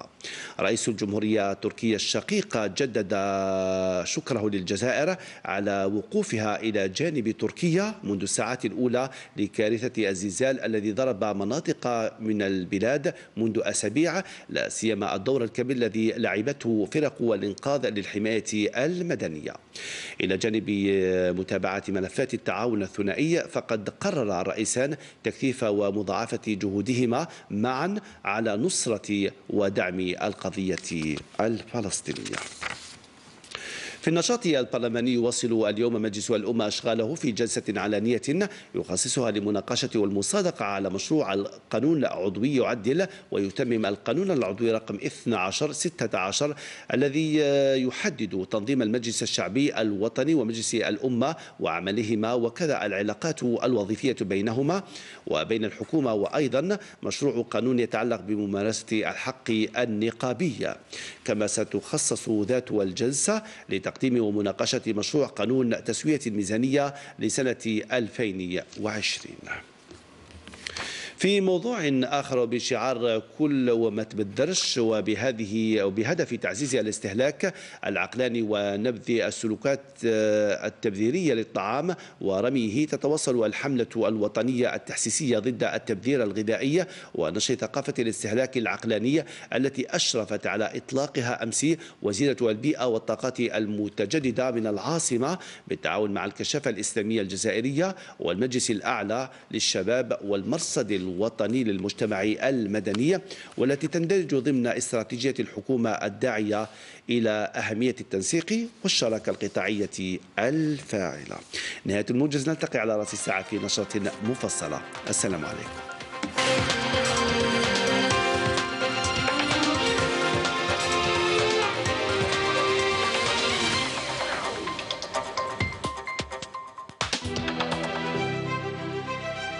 التلفزيون الجزائري عبر منصات الإعلام الجديد. موقع إلكتروني باللغة العربية والإنجليزية والفرنسية. يتابع الأخبار والأحداث الوطنية والدولية. محتويات تفاعلية نحاكي فيها عناصر الخبر في حلة رقمية. فضاءات للتواصل والتفاعل والمشاركة. ولمتابعة برامجكم المفضلة. تفاعلوا مع مختلف منصات التواصل الاجتماعي للتلفزيون الجزائري. الآنية والمصداقية. متواصلون معكم مشاهدينا عبر الإخبارية التلفزيوني الجزائري في برنامج هذا الصباح. في البرنامج اليوم سنتطرق إلى كيفية الاستثمار في العطلة المدرسية لتطوير مهارات الطفل وأهمية تعويد الأبناء على الصيام وفق طرق مدروسة وسليمة. للتفصيل أكثر في الموضوع يسعدني استضافة الأخصائية النفسانية التربوية السيدة أنيسة معلم. أهلا وسهلا ورمضان كريم. بك يعيشك رمضان كريم ليك ولجميع المشاهدين. إذا السيد معلم السيدة معلم التلاميذ الآن في عطلة مدرسية. أولا كيف يمكن الاستفادة من هذه العطلة المدرسية بفعالية؟ نعم أقول بسم الله والحمد لله والصلاة والسلام على رسول الله. عندما نتحدث عن عطلة فدائما هنالك مفهوم التعطيل. بمعنى أنه المفروض أنه التلميذ يرتاح في هذه العطلة. نعم. ولكن تبعات الفصل الأول بعض النقائص ممكن تكون خلال الفصل الأول بعض الصعوبات الدراسية التي يجب تجاوزها يعني التمكن من اجتياز فصل الثالث بأحسن طرق يمكن يعني يعني خلال العطلة استفادة منها لتحسين المستوى الدراسي للأطفال. ولكن ليس بشكل كبير حتى ما نضيعوش المعنى تاعها الحقيقي أنه تكون فيها عطلة. تزامنت مع شهر رمضان فهنالك شيء نبدأ به إنه يجب أن ينتبه الأولياء إنه يعني فرصة رمضان هي فرصة للاستغلال. معناتها لازم نعود اولادنا على أمور معينة تفيدهم. وفي نفس الوقت نقسم بعض العادات الغير صحية اللي حنايا ككبار نديروها مثلا السهر. اللي تاثر سهرية رمضان مع تعطل العطلة. بعدها يعاودوا نعم هذه السلوكيات الخاطئة التي تؤثر نعم. على التلميذ أو الطفل. فهذه أول شيء لازم ينتبهوا له الأولياء إنه ما لازمش يدخلوا في جو السهرات من بعد الأبناء راح يتضروا في خاصة الفصل الثالث فصل قصير جدا. نعم. فإذا ما حسنوش استغلاله بأحسن طرق فراح يجوز يعني سريعا وما يجلوش الثمار تاعو كما يلزم. نعود نقول لنقطة البداية كيف يمكن استثمار العطلة لتكون تكون أحسن يعني نجاعة يعني في الاستغلال ديالها؟ إحنا دائما كي نحكيو على الدراسة عندنا دائما يعني معيارين. عندنا مهارات وصعوبات دراسية وش يعني؟ يعني إنه ممكن تلميذ يكون يقرأ يقرأ يقرأ ويبذل مجهود ولكن ما يطورش روحه ما يحسنش روحه، يعني حتى أغلبية الأولياء اللي يتحدثوا على صعوبات دراسية عند اولادهم ويلجؤوا لدروس خاصة وكذا دائما يشكوا على إنه نفس المشكل ما زالوا قائم بحد. ذاته ولم يتغير، بالعكس يزيد- يزيدوا له امور أخرى أنه تتراجع يتراجع تقدير الذات، تتراجع نعم في الثقه بعض بالنفس الأحيان رغم المجهودات الكبيرة التي تبذل من قبل التلميذ. نعم لأنه عندما يبذل المجهود بشكل خطأ ونزيدوا من بعد الولي يحمل مس... ابنه مسؤولية أنه نعم. ماشي يتحسن مستواه. فهنايا راح يتدنى الثقه بالنفس ويتدنى تقدير الذات يأثر كذلك يعني نقولوا في حلقة مفرغة. أنه ما نخرجوش من الصعوبات الدراسية. الصعوبات الدراسية تحتاج تشخيص. عند مختص. معناتها لو وليدي كان يبذل مجهود وماش يلقى نتيجة فالأكيد عنده صعوبة معينة في مهارة معينة. هنالك صعوبات آه، بنائية يعني عندها مشكل مع يعني في وظائف معينة في الدماغ ممكن. كان صعوبات راجعة لتأخر أو تأخر دراسي ناتج عن صعوبات آه، حياتية. مثلا الإبن اللي يعيش في ظرف فيه يعني مشاكل داخل الأسرة. طلاق حقيقي أو طلاق عاطفي أو يتم أو يعني أوضاع معينة مزرية تخليه إما عمدا أو عن طريق اللاوعي يلجأ إلى ترك المردود الدراسي. يعني يا إما يستجيب بشكل إنه ما عندوش قد يعني عنده قدرات ولكن تعطل نعم. أو ينتقم باللا دراسة. إنه ما دامتم راكم حابين مني نقرأ بصح ما كنتش تعطوني الحضن الدافئ فما راحش نقرأ. ما حاش. نعطيكم واش راكم حابين هذا يدخل في تأخر دراسي اللي ما عندوش علاقة بالمهارات. المهارات موجودة ولكن تعطل. نروحوا للنقطة الثالثة اللي فيها المهارات. المشكل إنه حاليا الأبناء تاعنا يفتقروا كثيرا للمهارات المهارات اللي كسبناها إحنا كأولياء ما عطيناهاش ما لحقناش لأبنائنا مهم. وفي نفس الوقت ما استوعبناش الاختلافات الموجوده فيهم نعم فعلا كأطفال في بعض الأحيان يعني آه، آه، ما كانش ميول عند الأبناء يعني نعم. آه، لا يوجد أي ميول وبالتالي يعني الأولياء يقولوا أنه الأبناء ما عندهمش مواهب نعم. وهذا خطأ نعم لأنه الله عز وجل فرق علينا مواهب أكيد مختلفة باش يكون هذاك التكامل نعم. بيناتنا ولكن مستحيل انك تلقاي واحد ما عندوش مواهب يعني حتى الحالات الخاصة اللي الان مصنفه على أنه ثقل على العائلة إلا أنه هي في الحقيقة حالات اللي ربي عطاها أعطاها صعوبة معينة ولكن في نفس الوقت آه، استثمار كبير. مثلا آه، حالات التوحد. بدأوا يكتشفوا حاليا أنه أصحاب التوحد عندهم قدرات عالية في الذكاء. نعم. ورامي يعني لحقوا التوظيف لأنه هو كمصطلح جديد كمشكل. يعني رانا حاليا نلحقوا ال- أنه كاين ثمار مزهرة في هذا الموضوع. يعني الولي ما لازمش يرخي يديه. ما يقولش عندي حالة خاصة بالعكس آه، ذوي الهمم هما آه، الناس اللي ربي سبحانه حباهم بنعم كثيرة. نعم. فما بالك بالإنسان العادي الإنسان الطبيعي اللي عنده قدرات. الشيء اللي يعطل القدرات هما أمرين يمشوا مع بعض. اولا تراخي آه، تدخل الأهل في إثراء هذه المهارات لأنه القدرة التي لا تستثمر تضمر. الإبن كي يبدأ مثلا يتكلم كي يبدأ صغير يتكلم. حنا كأهل مثلا نهضروا معاه بطريقة شتي نقولوا له تشتي نقولوا له كذا.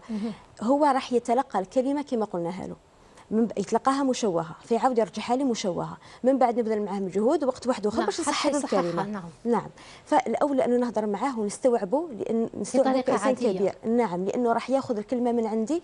بشكلها صحيح. يعني هذا كمثال لأنه هما كأطفال صغار بمجرد الخلق مش الولادة يعني بمجرد ما يخلق في رحم أمه يبدأ التخزين نعم. من الأم والأب مع يعني مع في نفس الوقت ومع تأثير الهرمونات كذلك الحالة المزاجية والنفسية كل. هذا الشيء يعني يصنع صورة مخزنة في في ذاكرة هذا الصبي. كي يولد يبدأ يخزن المحتوى اللفظي بشكل كبير بمعنى أنه شتي طفل صغير هذاك اللي عنده عام وثلاث شهور ما يهدرش عام وخمس شهور يبدأ يهدر كي يبدأ يهدر ما يسكتش. نعم. لماذا؟ نحيروا نقولوا وقتاش تعلم كامل الهضرة؟ لأنه كان يخزن في البداية.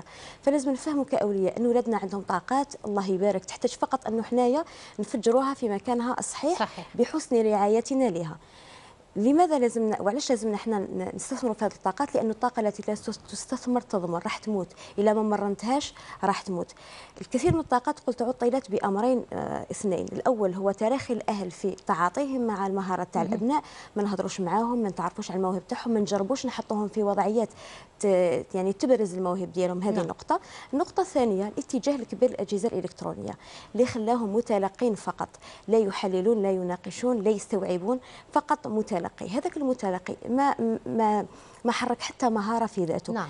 لو كان نقولوا حنايا طفولتنا حنايا حنا جيل مازال يعني اللي يسمى الجيل الذهبي مازلنا قرابة لهذا الجيل كان عندنا هواية جمع الطوابع كان كنا نبحثوا في الكتب في القواميس كان مجرد نحوسوا على مصطلح واحد ندخلوا القاموس ونكتشفوا بزاف أمور فيه. نعم. لعبنا برا لعبنا بزاف أمور اكتشفنا مهارات معينة كانوا عندنا مهارات تواصلية بناء على انه كنا نتواصلوا مع بعض. الآن الهاتف والأجهزة هذه كامل ضيعت الجانب التواصلي معناتها ما كاش ما كاش تطور في المهارات التواصلية عند عند نعم عند أفهم من كلامكم سيدتي أنه نعم. في أهمية كبيرة لدور الأولياء في تنمية هذه المهارات واكتشافها حتى. أكيد نعم أكيد لأنه المهارات موجودة تحتاج فقط لتسليط الضوء. إنه أنا نبحث يعني نبحث معها على هذه المهارة. نجربوا ألعاب في الدار مثلا. كاين ألعاب كثيرة. في ألعاب الذكاء أيضا. نعم هذا الشيء اللي حنحكي عليه أحسنتي. كاين مثلا لعبة المتاهات. المتاهة تخلي الإنسان يعني الدماغ البشري يتحرك يعمل كاين بزاف ألعاب ألعاب التركيب ألعاب الألغاز كذلك لأنه تحفز ملكات في الدماغ. عندنا ملكة الذاكرة وملكة الذكاء وملكة التفكير. هذا الأمر في ثلاثة نحتاجوهم دراسيا. يعني حتى كي نحكيو على الجانب العملي والمهني فيما بعد الآن الاتجاه في العمل خاصة في أمريكا يعني نتحدثوا على أمريكا ونجو إنه العمل بدا إنه يعتمد لا يعتمد الآن على الشهادة بل يعتمد على المهارة أكثر شيء. لأنه الشهادات أصبحت في متناول الجميع. الشيء اللي يفرق بيناتهم هي المهارة. والمهارة. نعم. القدرة على التخطيط على إدارة الوقت على إدارة المشاريع. هذه الأمور إذا على إدارة فريق على عمل ضمن فريق هذه الأمور يفتقروا لها الكثير من الناس اللي ما عندهمش ماشي ما عندهمش مواهب لم يكتشفوا المواهب تاعهم وما طوروهاش. فهنايا الأولياء مسؤولين بدرجة كبيرة على أنهم يحوسوا على هذه المواهب ويشجعوها. مفهوم. ما دام نتحدث عن المواهب وتشجيعها هل يمكن يعني ظهور لدى الطفل مواهب جديدة مع الوقت؟ أكيد نعم. ولو إنه كل ما كان العمر ابكر يكون أحسن ولكن هنالك مواهب تظهر مع الوقت أكيد. مثلا لو ندخلوا في نادي جديد مثلا رياضه عقلية أو نعم. يعني يعني ألعاب حسابية وكذا ممكن يكتشف عنده اتجاه لل, لل للأمور العقلية يعني وهذا الشيء ما كانش باين مثلا في البداية. ممكن تكون عنده قدرات لغوية هو ما اكتشفهاش. ممكن نعم. يتعلم لغة جديدة فيكتشف يعني حبه لها يعني اللغة إحنا في الغالب نتعلموا اللغة الأم واللغة الأجنبية اللي تكون يعني في يعني في, في, في إطار التعلم ديالو. ولكن ممكن نعلموا حاجة جديدة. مثلا الآن اكتشفنا بزاف مثلا مراهقين لتجهيز اللغة الانجليزيه اللغة التركية. كذلك اللغة الإنجليزية يعني فقط من المسلسلات ومن مشاهدات معينة اكتشفوا هذه القدرة عندهم فالمهارات ممكن تكتسب في عمر صغير نعم وممكن تطور وممكن نعم. يكتشفوا مهارات معينة في أعمار يعني متقدمة حتى الاستثمار في يعني المواهب مواهب الطفل يقي الطفل من الملل والكسل خصوصا في العطلة المدرسية سواء الربيعيه أو العطلة المد... الصيفية التي هي على الأبواب. نعم شوفي نحكيو على المعيار الكسل والملل بمعيار مثلا العطش. متى يعطش الإنسان؟ كي يكون في أشد درجات الجفاف. نعم. متى يصل الطفل إلى الملل؟ كي خلاص نكونوا يعني الأرضية اللي راهو فيها استنزفنا كل الطرق. نعم. ممكن العكس. مش استنزفنا ما درنا حتى طريقة تخليه إنه يعني نصريب له الوقت ديالو لأنه الطفل يحتاج فقط اهتمام بسيط باش يعني باش يطور المهارة تاعو باش يستغل وقته. كذلك باش يعني يحس إنه راهو في ثراء. البيئة يعني فيها الكثير من المحركات الخارجية اللي تخليه يعني ينتبه للقدرات اللي موجودة داخليا. حنا كي نعطولو يعني المشكل حاليا اللي حكيت عليه ولازم نحكوا عليه دائما مشكل الهواتف والأجهزة هذه. قد ما عطيتها لوليدي قد ما نفقدوا متعة الحياة. كمثال بسيط الطفل كي ما يلعبش سنة واحدة في حياته. يكون عنده احتياج لها ثلاث سنوات لازم يلعب ثلاث سنوات باش يعوض هذيك السنة الواحدة. لأنه من خلال اللعب يتعلم كثير من المهارات. اللاعب هذا ما عندوش عمر محدد. ما عندوش عمر يتوقف عنده. كي يكون صغير قد ما قد ما لعب قد ما يتعلم مهارات جديدة. حنا بالنسبة لنا يعني فقدنا جانب اللاعب في الخارج لضرورات أمنية. نعم. ولكن وجود كذلك لاعب داخل البيت. ممكن أنه يلعب مع يعني مع الإخوة ديالو مثلا مرة يحكي مختص في علم النفس هو دكتور في يعني في أمريكا قال إنه عندما اتسعت البيوت يعني تراجعت التربية فقط يعني لقيمة واحدة إنه ضاعت لعب الغميضة. إنه ما يعني كي ما يلعبوش ما يلوش يلعبوا الغميضة فقط أثرت بزاف على التربية. فتخيلي هما يديروا دراسات كثيرة على الألعاب هذه ومدى تأثيرها على النفسية. صحيح. فمجرد إنه هذه اللعبة فقط ماشي موجودة فراح يعني تأثر على على على, على, على نمو الشخصية تاعو ككل.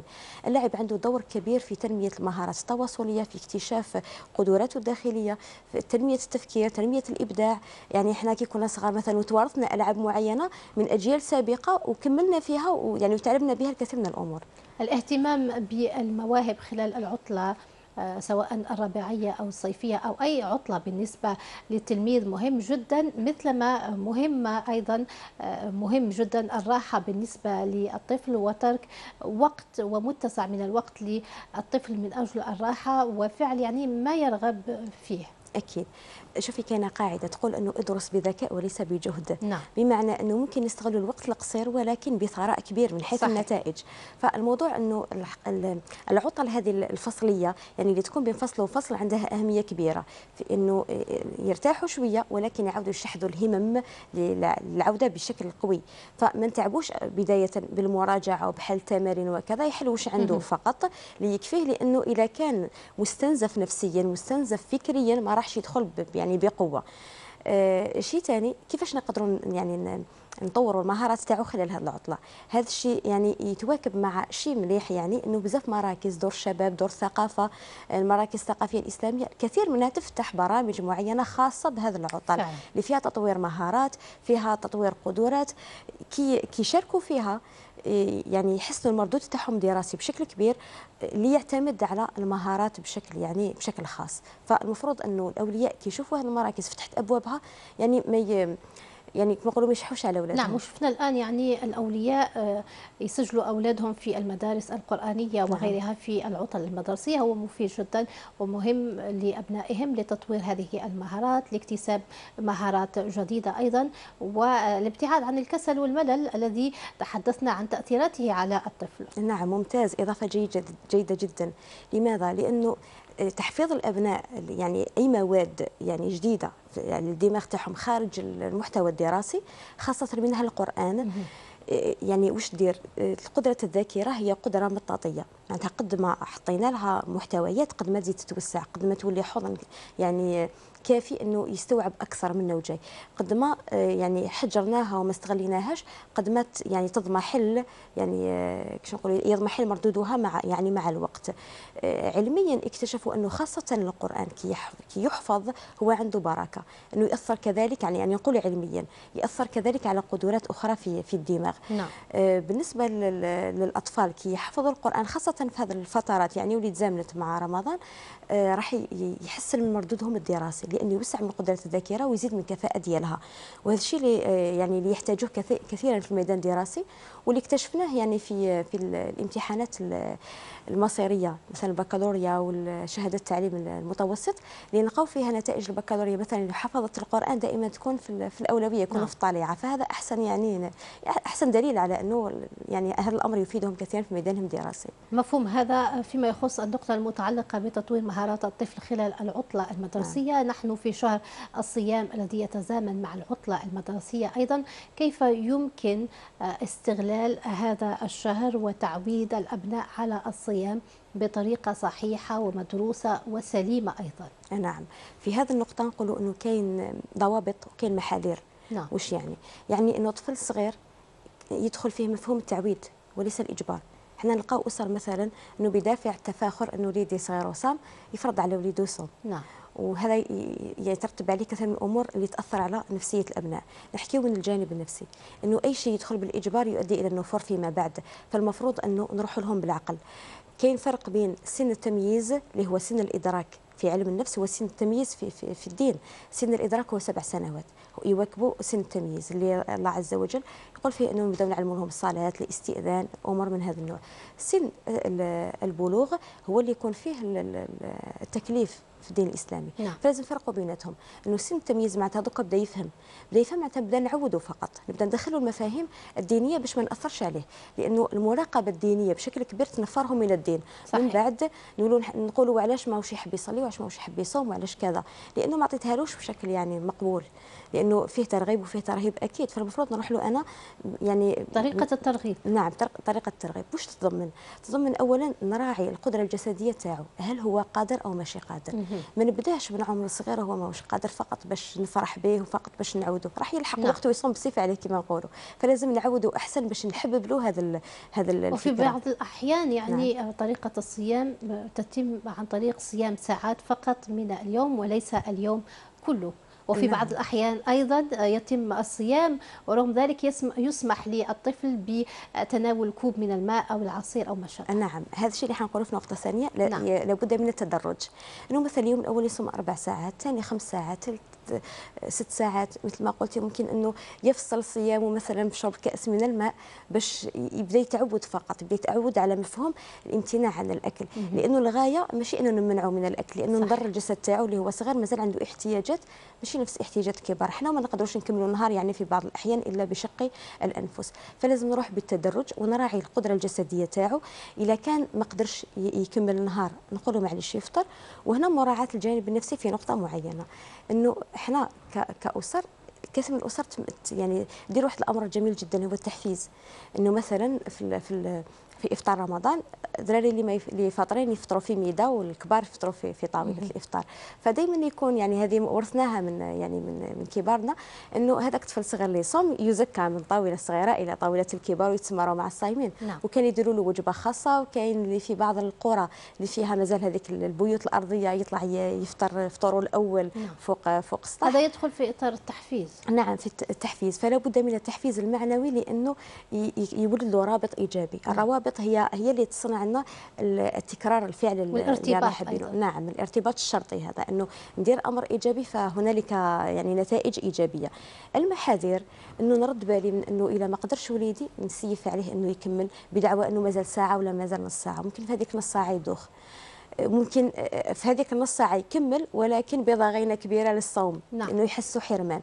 كذلك في حال ما قدرش يكمل حنا في الغالب نسمع واحد كلمة فاطر ما قدرتش تصوم هذه الكلمات تأثر على نفسيته. بالعكس إلى صام أربع سوايع سمي صايم. ولكن نقولوا له غدا ما شاء الله يزيد حسن أحسن. ونحميه من أي تنمر من أي واحد اخر لأنه إحنا عندنا تنمر ولا يمارس بشكل كبير يعني وداخل الأسرة يعني أسبق من يعني من في الخارج. فلا بد من التحفيز المعنوي وتجنب إنه نعايره بين قوسين إنه في حال مثلا افطر جيد. سيدة معلم الجزء الثاني من هذا الشهر الفضيل سيتزامن وعودة التلاميذ إلى المدارس. كيف يمكن التعامل مع أبنائنا في هذا الشهر الفضيل خصوصا أنه يعني الشهر له مميزات وخصوصيات فيما يتعلق بالسهرات الرمضانية وغيرها؟ نعم هنا الأولياء لازم يحطوا ضابط في الأسرة يعني لازم قانون داخلي إنه مثلا ما كاش فوق الساعة ما كاش فوق العشرة تحبس هنايا ما كاش سهرات والأكيد لازم الأولياء يتقيدوا بها لأنه حتى الأولياء كذلك يعني راهم عاملين جانا في وقت يعني ما ماشي في عطلة جانا في وقت عمل فحتى السهر يأثر عليهم. نعم. فهذا يدخل ضمن العادات السلبية اللي إحنا يتمسكوا بها رغم أنه تضرنا خلال يعني يوم الصيام. فالأبناء باش يعني باش يتعظوا ولا باش يتبعوا نفس اللي حبينا نطبقوها عليهم لازم إحنا نكونوا يعني نطبقوها اولا مثل ما يقال أنه لا تنهى عن شيء وتأتي مثله عار عليك إذا فعلت عظيمه. فالأولياء أولى بتطبيق هذا الأمر أن يكون قانون داخلي الجميع يمتثل له باش الأبناء يعني يدخلوا في السيرورة. وكما قلت لازم التدرج فيه يعني حتى دوكا سمحنا لهم بالسهرات لأنهم راهم في في عطلة ولكن يعني أربع أيام خمس أيام قبل الدخول نبدأ نعودهم على النوم صحيح. مبكرا لأنه هذا الشيء أثر عليهم بشكل كبير لأنه هذيك الوقف والعودة مباشرة إلى نظام التمدرس صعيب شوية مع إنه النظام خلال اليوم راهو مخفف إنه ما يدخلوش بكري ما يقراوش ساعات كثيرة 45 دقيقة جزء بسرعة ولكن باش نرفعوا كفاءتهم في الأداء الدراسي أحسن. نتمنى أن تكون الرسالة وصلت لكل الأولياء والتلاميذ. شكرا جزيلا لك الأخصائية النفسانية والتربوية السيدة أنيسة معلم على كل النصائح والإرشادات التي قدمتها لنا. شكرا. إذا مشاهدينا نذهب إلى فاصل قصير ثم نعود لاستكمال برنامج هذا الصباح.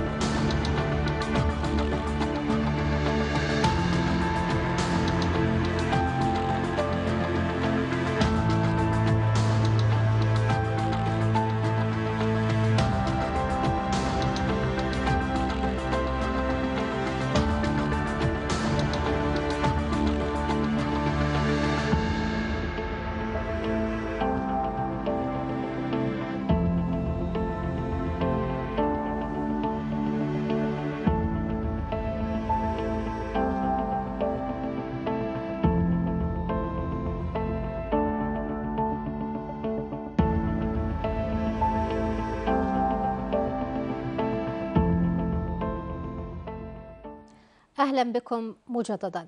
في قطاع الثقافة سنسلط الضوء اليوم على برنامج مؤسسة فنون وثقافة من سهرات رمضانية فنية وثقافية طيلة هذا الشهر الفضيل وكذلك برنامج الجمعية الثقافية الجزيرة خلال هذا الشهر الفضيل.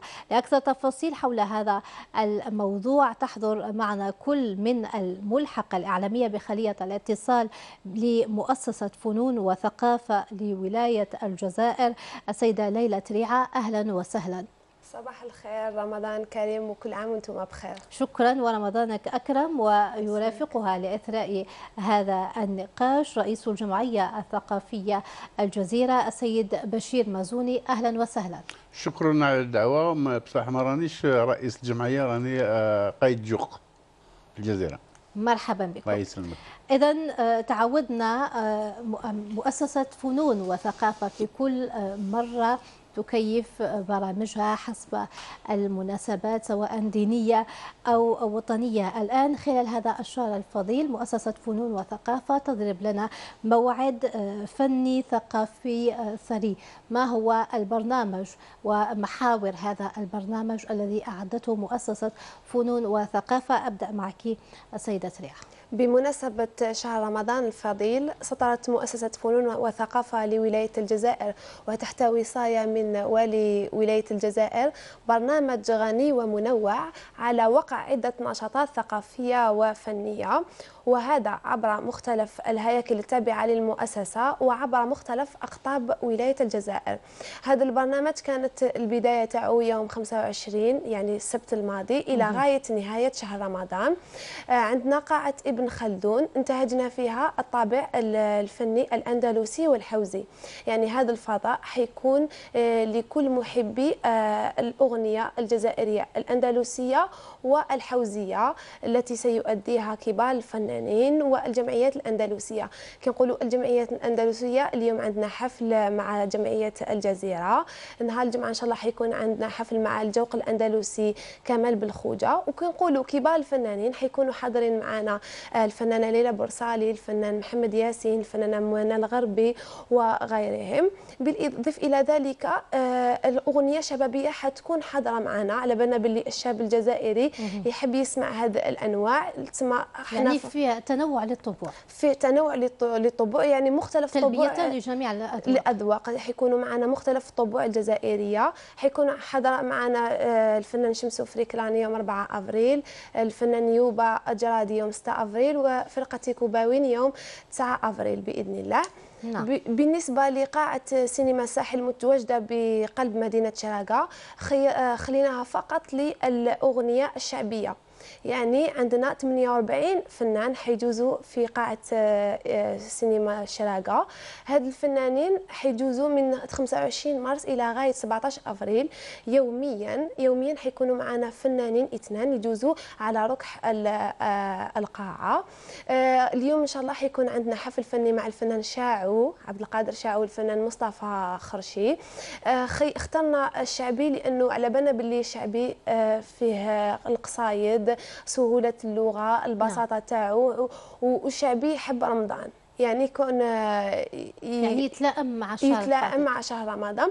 بالإضافة الجديد اللي قمنا به إنه آه هذا العام على غير العادة آه، قمنا بتسطير برنامج فني على مختلف المقاطعات الإدارية.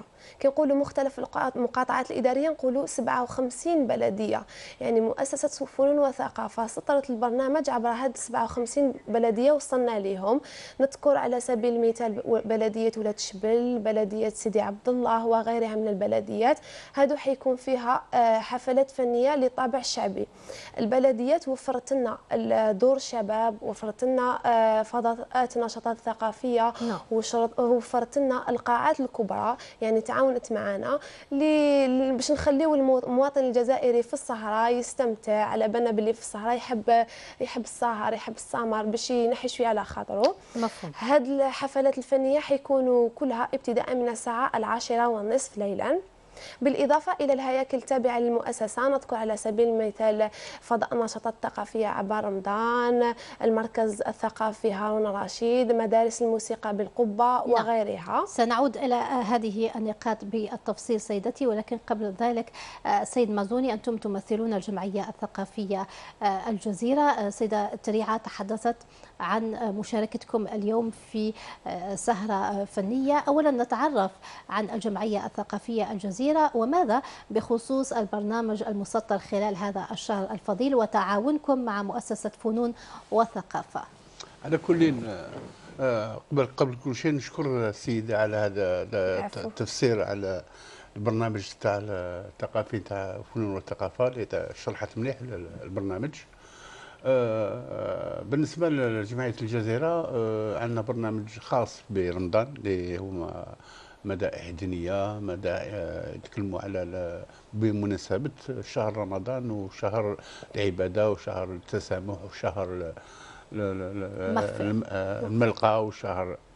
وبهذا الشيء تانيك جمعية الجزيرة اللي تكونت في 99 99 بصفة رسمية. اليوم حد اليوم راهي تنشط في برنامج خاص وتكون في تلاميذ وتكون في جيل جديد باش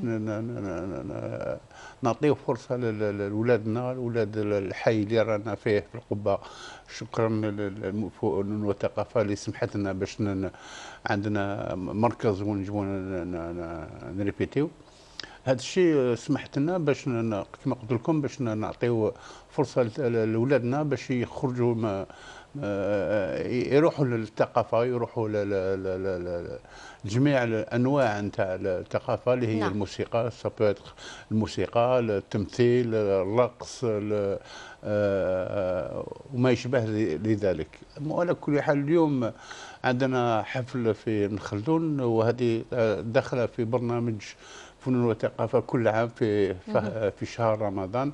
عندهم برنامج يعطي فرصة للشعب نتاعنا المحبين الفن الشعبي ولا الفن الأندلسي باش يتلاقاو في في جو عائلي في جو أخوي وفي جو آه، فني وثقافي. نعم بالأمس أيضا كان لكم حفل من تنظيم الجمعية الثقافية الجزيرة.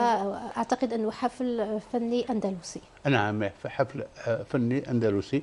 وهذا يحب يقول آه، شرف لنا وشرف لل للتنيك كاع التلاميذ اللي رايحين يشاركوا معنا في هذه السهرة. مفهوم. سيدة تريعة عندما نتحدث عن برامج مؤسسة فنون وثقافة نتحدث أيضا عن البرامج الخاصة بالنسبة للأطفال باعتبار أن الأطفال الآن في عطلة مدرسية. ما هي النقاط التي سطرتموها أو النشاطات التي خصصتموها للأطفال ضمن هذا البرنامج؟ كما إحنا على بالنا باللي أطفال اليوم هم مشعل المستقبل وإحنا مؤسسة فنون وثقافة تهتم بشريحة بهذه الشريحة الشريحه الصغيرة لأنهم هما اللي حيشدون المشعل مستقبلا. آه لذلك وفرنا لهم وقدمنا لهم عروض ترفيهية تثقيفية وتربوية. هذه العروض آه، حن حنوظفوا فيها ولا نقدموا لهم رسائل اللي تصب في قالب توعوي. نعم. كما مثلا أنا في شهر رمضان آه، نقدم لهم رسالة إنه ممنوع التبذير آه، كيفية المحافظة على البيئة. يعني, يعني رسائل توعوية. رسائل توعوية. وكذلك الأطفال راهم محظوظين لأن كما قلت لك في الحفلات الفنية الأطفال كذلك لحقنا ل 57 بلدية. الأطفال أنا جيناهم في الساحات العمومية في الأحياء السكنية في الحدائق في الغابات وصلنا لهم كاملين والبرنامج الطفل حيكون يوميا نعم. ابتداء من الساعة الخامسة مساء. يعني عندهم في الفترة المسائية يقدروا يخرجوا يستمتعوا سويعة من الزمن. هذيك السويعة حتكون فيها أولا التسلية وثانيا التوعية. مفهوم. سيد مزوني مدام أنكم تؤكدون كثيرا على الطفل. ما هو عدد المنخرطين؟ ربما تقريبا على مستوى الجمعية الثقافية الجزيرة. ما هي النشاطات التي تركزون عليها أيضا؟ ما هو البرنامج المتبع من قبل هذه الجمعية الثقافية؟ على كل عندنا برنامج العام في بالنسبة لعام 2023 آه، اللي يحتوي على تكوين آه، تلاميذ آه، جدد. عندنا قسم فرع تاع التلاميذ اللي خلط inscrits au niveau de l'association جدد. نعلموهم من البداية البداية نعم. عندنا ثاني قسم المتوسط نتاع الجمعية اللي متكون بتقريبا واحد 20 تلاميذ. نعم والمجالات و... هي في الموسيقى التمثيل وغيرها كل لا لا لا هاي نهضر نتكلم غير على الموسيقى نعم. الاندلسيه وعندنا ثاني قسم العالي اللي هو اللي عنده اختصاص باش يدير الحفلات ويدير ال- النشاطات آه، الثقافية اللي تسمح له كذلك باش يمشي للخارج ويعطي عروض آه، فنيه في الأندلسية. كما مشينا في آه، 2 و- 2022 مشينا لفرنسا آه، درنا عروض في فرنسا مدة آه، شهر ونص. وهذه داخلة في البرنامج نتاع جمعية الجزيرة. كيف يتم الترويج لهذا البرنامج وللجمعية الثقافية أيضا؟ ما فهمتش السؤال فيما. يخص الترويج للجمعية الثقافية من أجل استقطاب أكبر عدد ممكن من الأطفال أو التلاميذ آه، من أجل التعلم. ترويج ترويج ترويج. بيبليسيتي آه لا بيبليسيتي آه لا بيبليسيتي إحنا على كل حال آه، ماشي آه ما عندناش آه فرع تاع la communication ولا نتاع إحنا هي الموسيقى هي هي الترويج نتاعنا. هي ال- ال- ب- بالاداء نتاعنا بالنوع نتاع ال- ال- ال- الخراط نتاعنا في الحفلات وكذلك عندنا تانيك برنامج اللي هو حنكملوه إن شاء الله في أكتوبر إن شاء الله. هي تسجيل deux albums. رانا دخلنا الاستوديو باش نكملوا ال- ال- التسجيل. وإن شاء الله يكون واجد في في le mois d'octobre ان شاء الله في دخول la la rentrée sociale. ألبومين خاصين بالجمعية الثقافية داخلة خاص خاص بالنوع نتاع الجزيرة اللي عندها تانيك خصوصيات آه، موسيقية لها آه، للجزيرة. ما عندناش آه، آه، هذه هي النوع نتاع جمعية الجزيرة؟ مفهوم. فيما يخص سيدة ريعة المعارض الفنية وكل ما يتعلق بالصناعات التقليدية ما هو البرنامج هذه السنة خلال هذا الشهر الفاضل؟ خلال شهر رمضان عندنا معرض آه، للمعارض للوحات التشكيليه المعرض الأول حيكون بمعرض آه، برواق الفنون عائشة حداد. آه، حيحتضن لوحات للفنان التشكيلي آه، مبارك جمال الدين. هذا آه، تحت عنوان نفحات فنية في رحاب رمضان. آه، حيكون إلى غاية آه، 8 أفريل. آه، هذا مبارك جمال الدين هو شاب جزائري مؤسس فنون وثقافة. اعطت له الفرصة باش نشوفوا وش تصنع الأنامل تاعو تسمى نحن دوما نقدم الفرصة لشباب الجزائر للشباب الجزائري باش يب- يبين القدرات تاعو نعم. ونهتم بهم دوما. عندنا كذلك رواق الفنون محمد راسم آه، سيحتضن معرض للوحات الفنية من إمضاء الفنانة التشكيلية صالحة خليفي. آه، تحت عنوان آه، الخط اللهيبي والقيم الإنسانية العالمية متواجد إلى غاية 21 أفريل آه، وعندنا كذلك معرض للمصاحف والكتب الدينية تحت عنوان شهر رمضان. هذا اللي راهو متواجد بالمركز الثقافي آه، مصطفى كاتب اللي جاي بجانب الجامعة المركزية متواجد إلى غاية 21 أفريل 2023 آه، بالنسبة لأبواب المفتوحة تكون آه، بداية من الساعة العاشرة صباحا إلى غاية السادسة مساء. أما بالنسبة للفترة الليلية. نبدأ على العشرة تاع الليل إلى غاية الثانية والنصف آه، ف- آه، تاع الليل وحبيت نقول لكم برك باللي في بيوم الجمعة. الأبواب صباح اصبح تكون مغلقة إلى غاية صلاة التراويح. يعني هاد المعارض حيكونوا حتكونوا فيها هواة يعني شباب جزائري صاعد هذا وين بدا العمل ديالو. حيكونوا فيها آه، أشخاص عندهم آه، خبرة في نعم الميدان. مهم جدا التعريف بالمواهب الصاعد- الصاعدة. السيد مازوني تحدثنا عن مشاركتكم مع مؤسسة فنون وثقافة في هذا البرنامج الرمضاني. أعتقد أنه لديكم أيضا آه، مشاركات خارج الوطن. نعم عندنا برنامج خاص ب عندنا on appelle ça des des partenaires جمعيات جمعيات نتعاملوا. معاهم في في فرنسا في إيطاليا وفي إسبانيا. وهذا دخل في البرنامج نتاعنا تاع البرنامج. الثقافي للجمعية. ب- تاع التبادل الثقافي مع هذه الجمعيات. ورانا نوجدوا في في برنامج وفي حفلات اللي تسمح لنا باش نديروا un partenariat حاب نقول artistique culturel في هذا الميدان. يعني يتم آه، يعني التحضير لهذه آه، الشراكة الفنية بين الجزائر وعدة دول خارج الجزائر. آه، مهم جدا الحديث عن اكتشاف المواهب أيضا بالنسبة للأطفال وكيف تساهم هذه الجمعية الثقافية الجزيرة في اكتشافها. على كل حال في, كل جمعية كاين شبان وشبات شابات وشبان اللي نخلعوا نحب نقول لنا اوني ان بو نحب نقول فرحانين كي نشوفوهم يعاودوا يكتشفوا الموسيقى الأندلسية والفن الأصيل نتاعنا. وهذا وهذا داخل في التربية تاعنا في في في la formation تاع التعليم.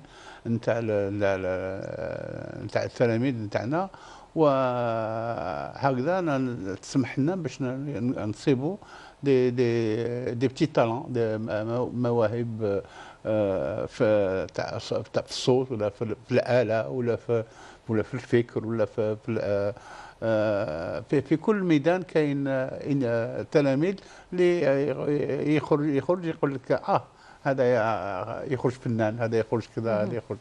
هذيك جيد. سيدة ريعة قبل أن نختم فقط أين يعرض برنامج مؤسسة فنون وثقافة لشهر رمضان الفريد؟ الفضيل آه نعرضه كل الجديد صبوح عبر منصة التواصل الاجتماعي فيسبوك مؤسسة آه Arts et Culture Alger مؤسسة فنون وثقافة الجزائر. يعني آه اللي يحب يطلع على كل التظاهرات اللي نقوم بها كل النشاطات اللي نقوم بها يصيبوها عبر هذه الصفحة الرسمية. شكرا جزيلا لك يا سيدة ليلى تريعة. الشكر موصول لك أيضا سيد بشير مزوني. شكرا, شكرا على الحضور وشكرا على كل البرنامج الذي فصلتم فيه الخاص بشهر رمضان الفضيل. شكرا لكم تاني شكرا, شكرا. إذا مشاهدينا نلتقي بعد فاصل قصير آه، للفقرة في الفقرة الرياضية لنهار اليوم.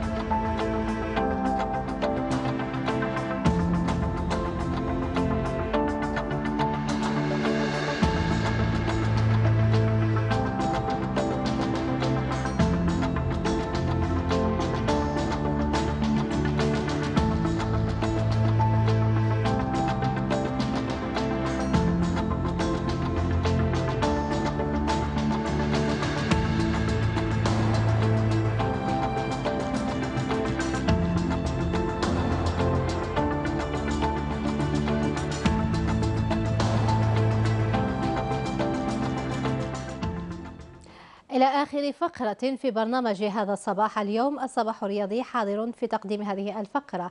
الزميل وليد غريبية صباح الخير وليد. صباح النور أسماء صباح الأنوار للسادة المشاهدين. أهلا بكم إلى أخبارنا الرياضية لهذه الصبيحة والمستهل بالمنتخب الوطني لكرة القدم لأقل من 23 عاما الذي أقصي من تصفيات كأس أمم إفريقيا 2023 عقب خسارته أمس أمام نظيره الغاني بهدف دون رد. بملعب بابا يارا بمدينة كوماسي الغانية لحساب إياب الدور الأخير من التصفيات. وذلك عقب تعادله ذهابا بملعب التاسع عشر ماي بعنابة الجمعة الماضي بهدف لمثله.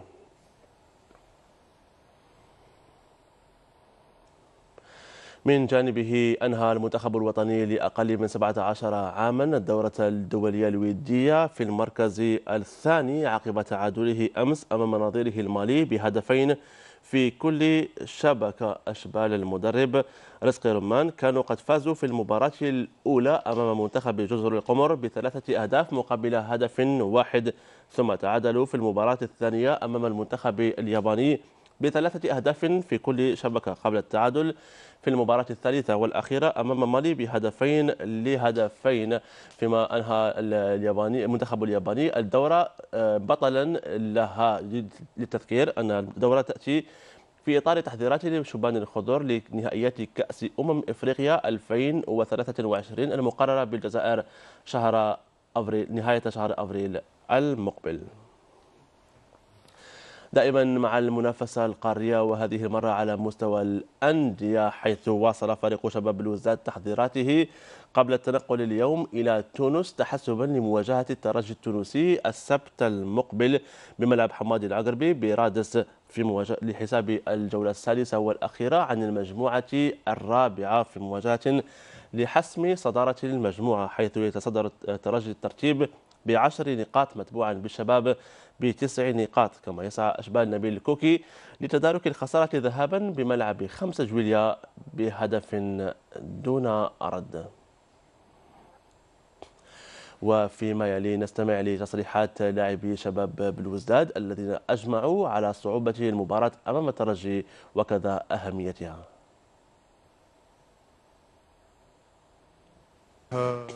تلعب على الفريق اللي راح يتأهل. يتأهل هو متصدر المجموعة. راح نديروا كلش راح نجيبوا نتيجة إيجابية إن شاء الله تما باش نروحوا لل première place إن شاء الله. نحضروا بوتيرة جد ممتازة في ظروف أيضا جد ممتازة في ملعب الرقي. أه راح نتنقلوا غدا إن شاء الله إلى تونس لمواجهه الترجي إن شاء الله يا رب العودة بالزاد كامل. مرتبة أولى ثلاث نقاط إن شاء الله باش نفرحوا الجمهور تاعنا.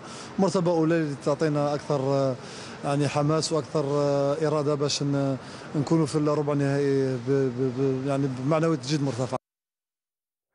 من جانبه وصلت بعثة فريق شبيبة القبائل أمس إلى مدينة الدار البيضاء تحسبا لمواجهة الوداد البيضاوي السبت المقبل لحساب الجولة السادسة والأخيرة عن المجموعة الأولى من رابطة أبطال إفريقيا في مباراة لحسم صدارة المجموعة التي يشترك فيها الفريقان بعشر نقاط لكل منهما مع أفضلية للشبيبة التي فازت ذهابا بملعب خمسة جويليا بهدف دون رد.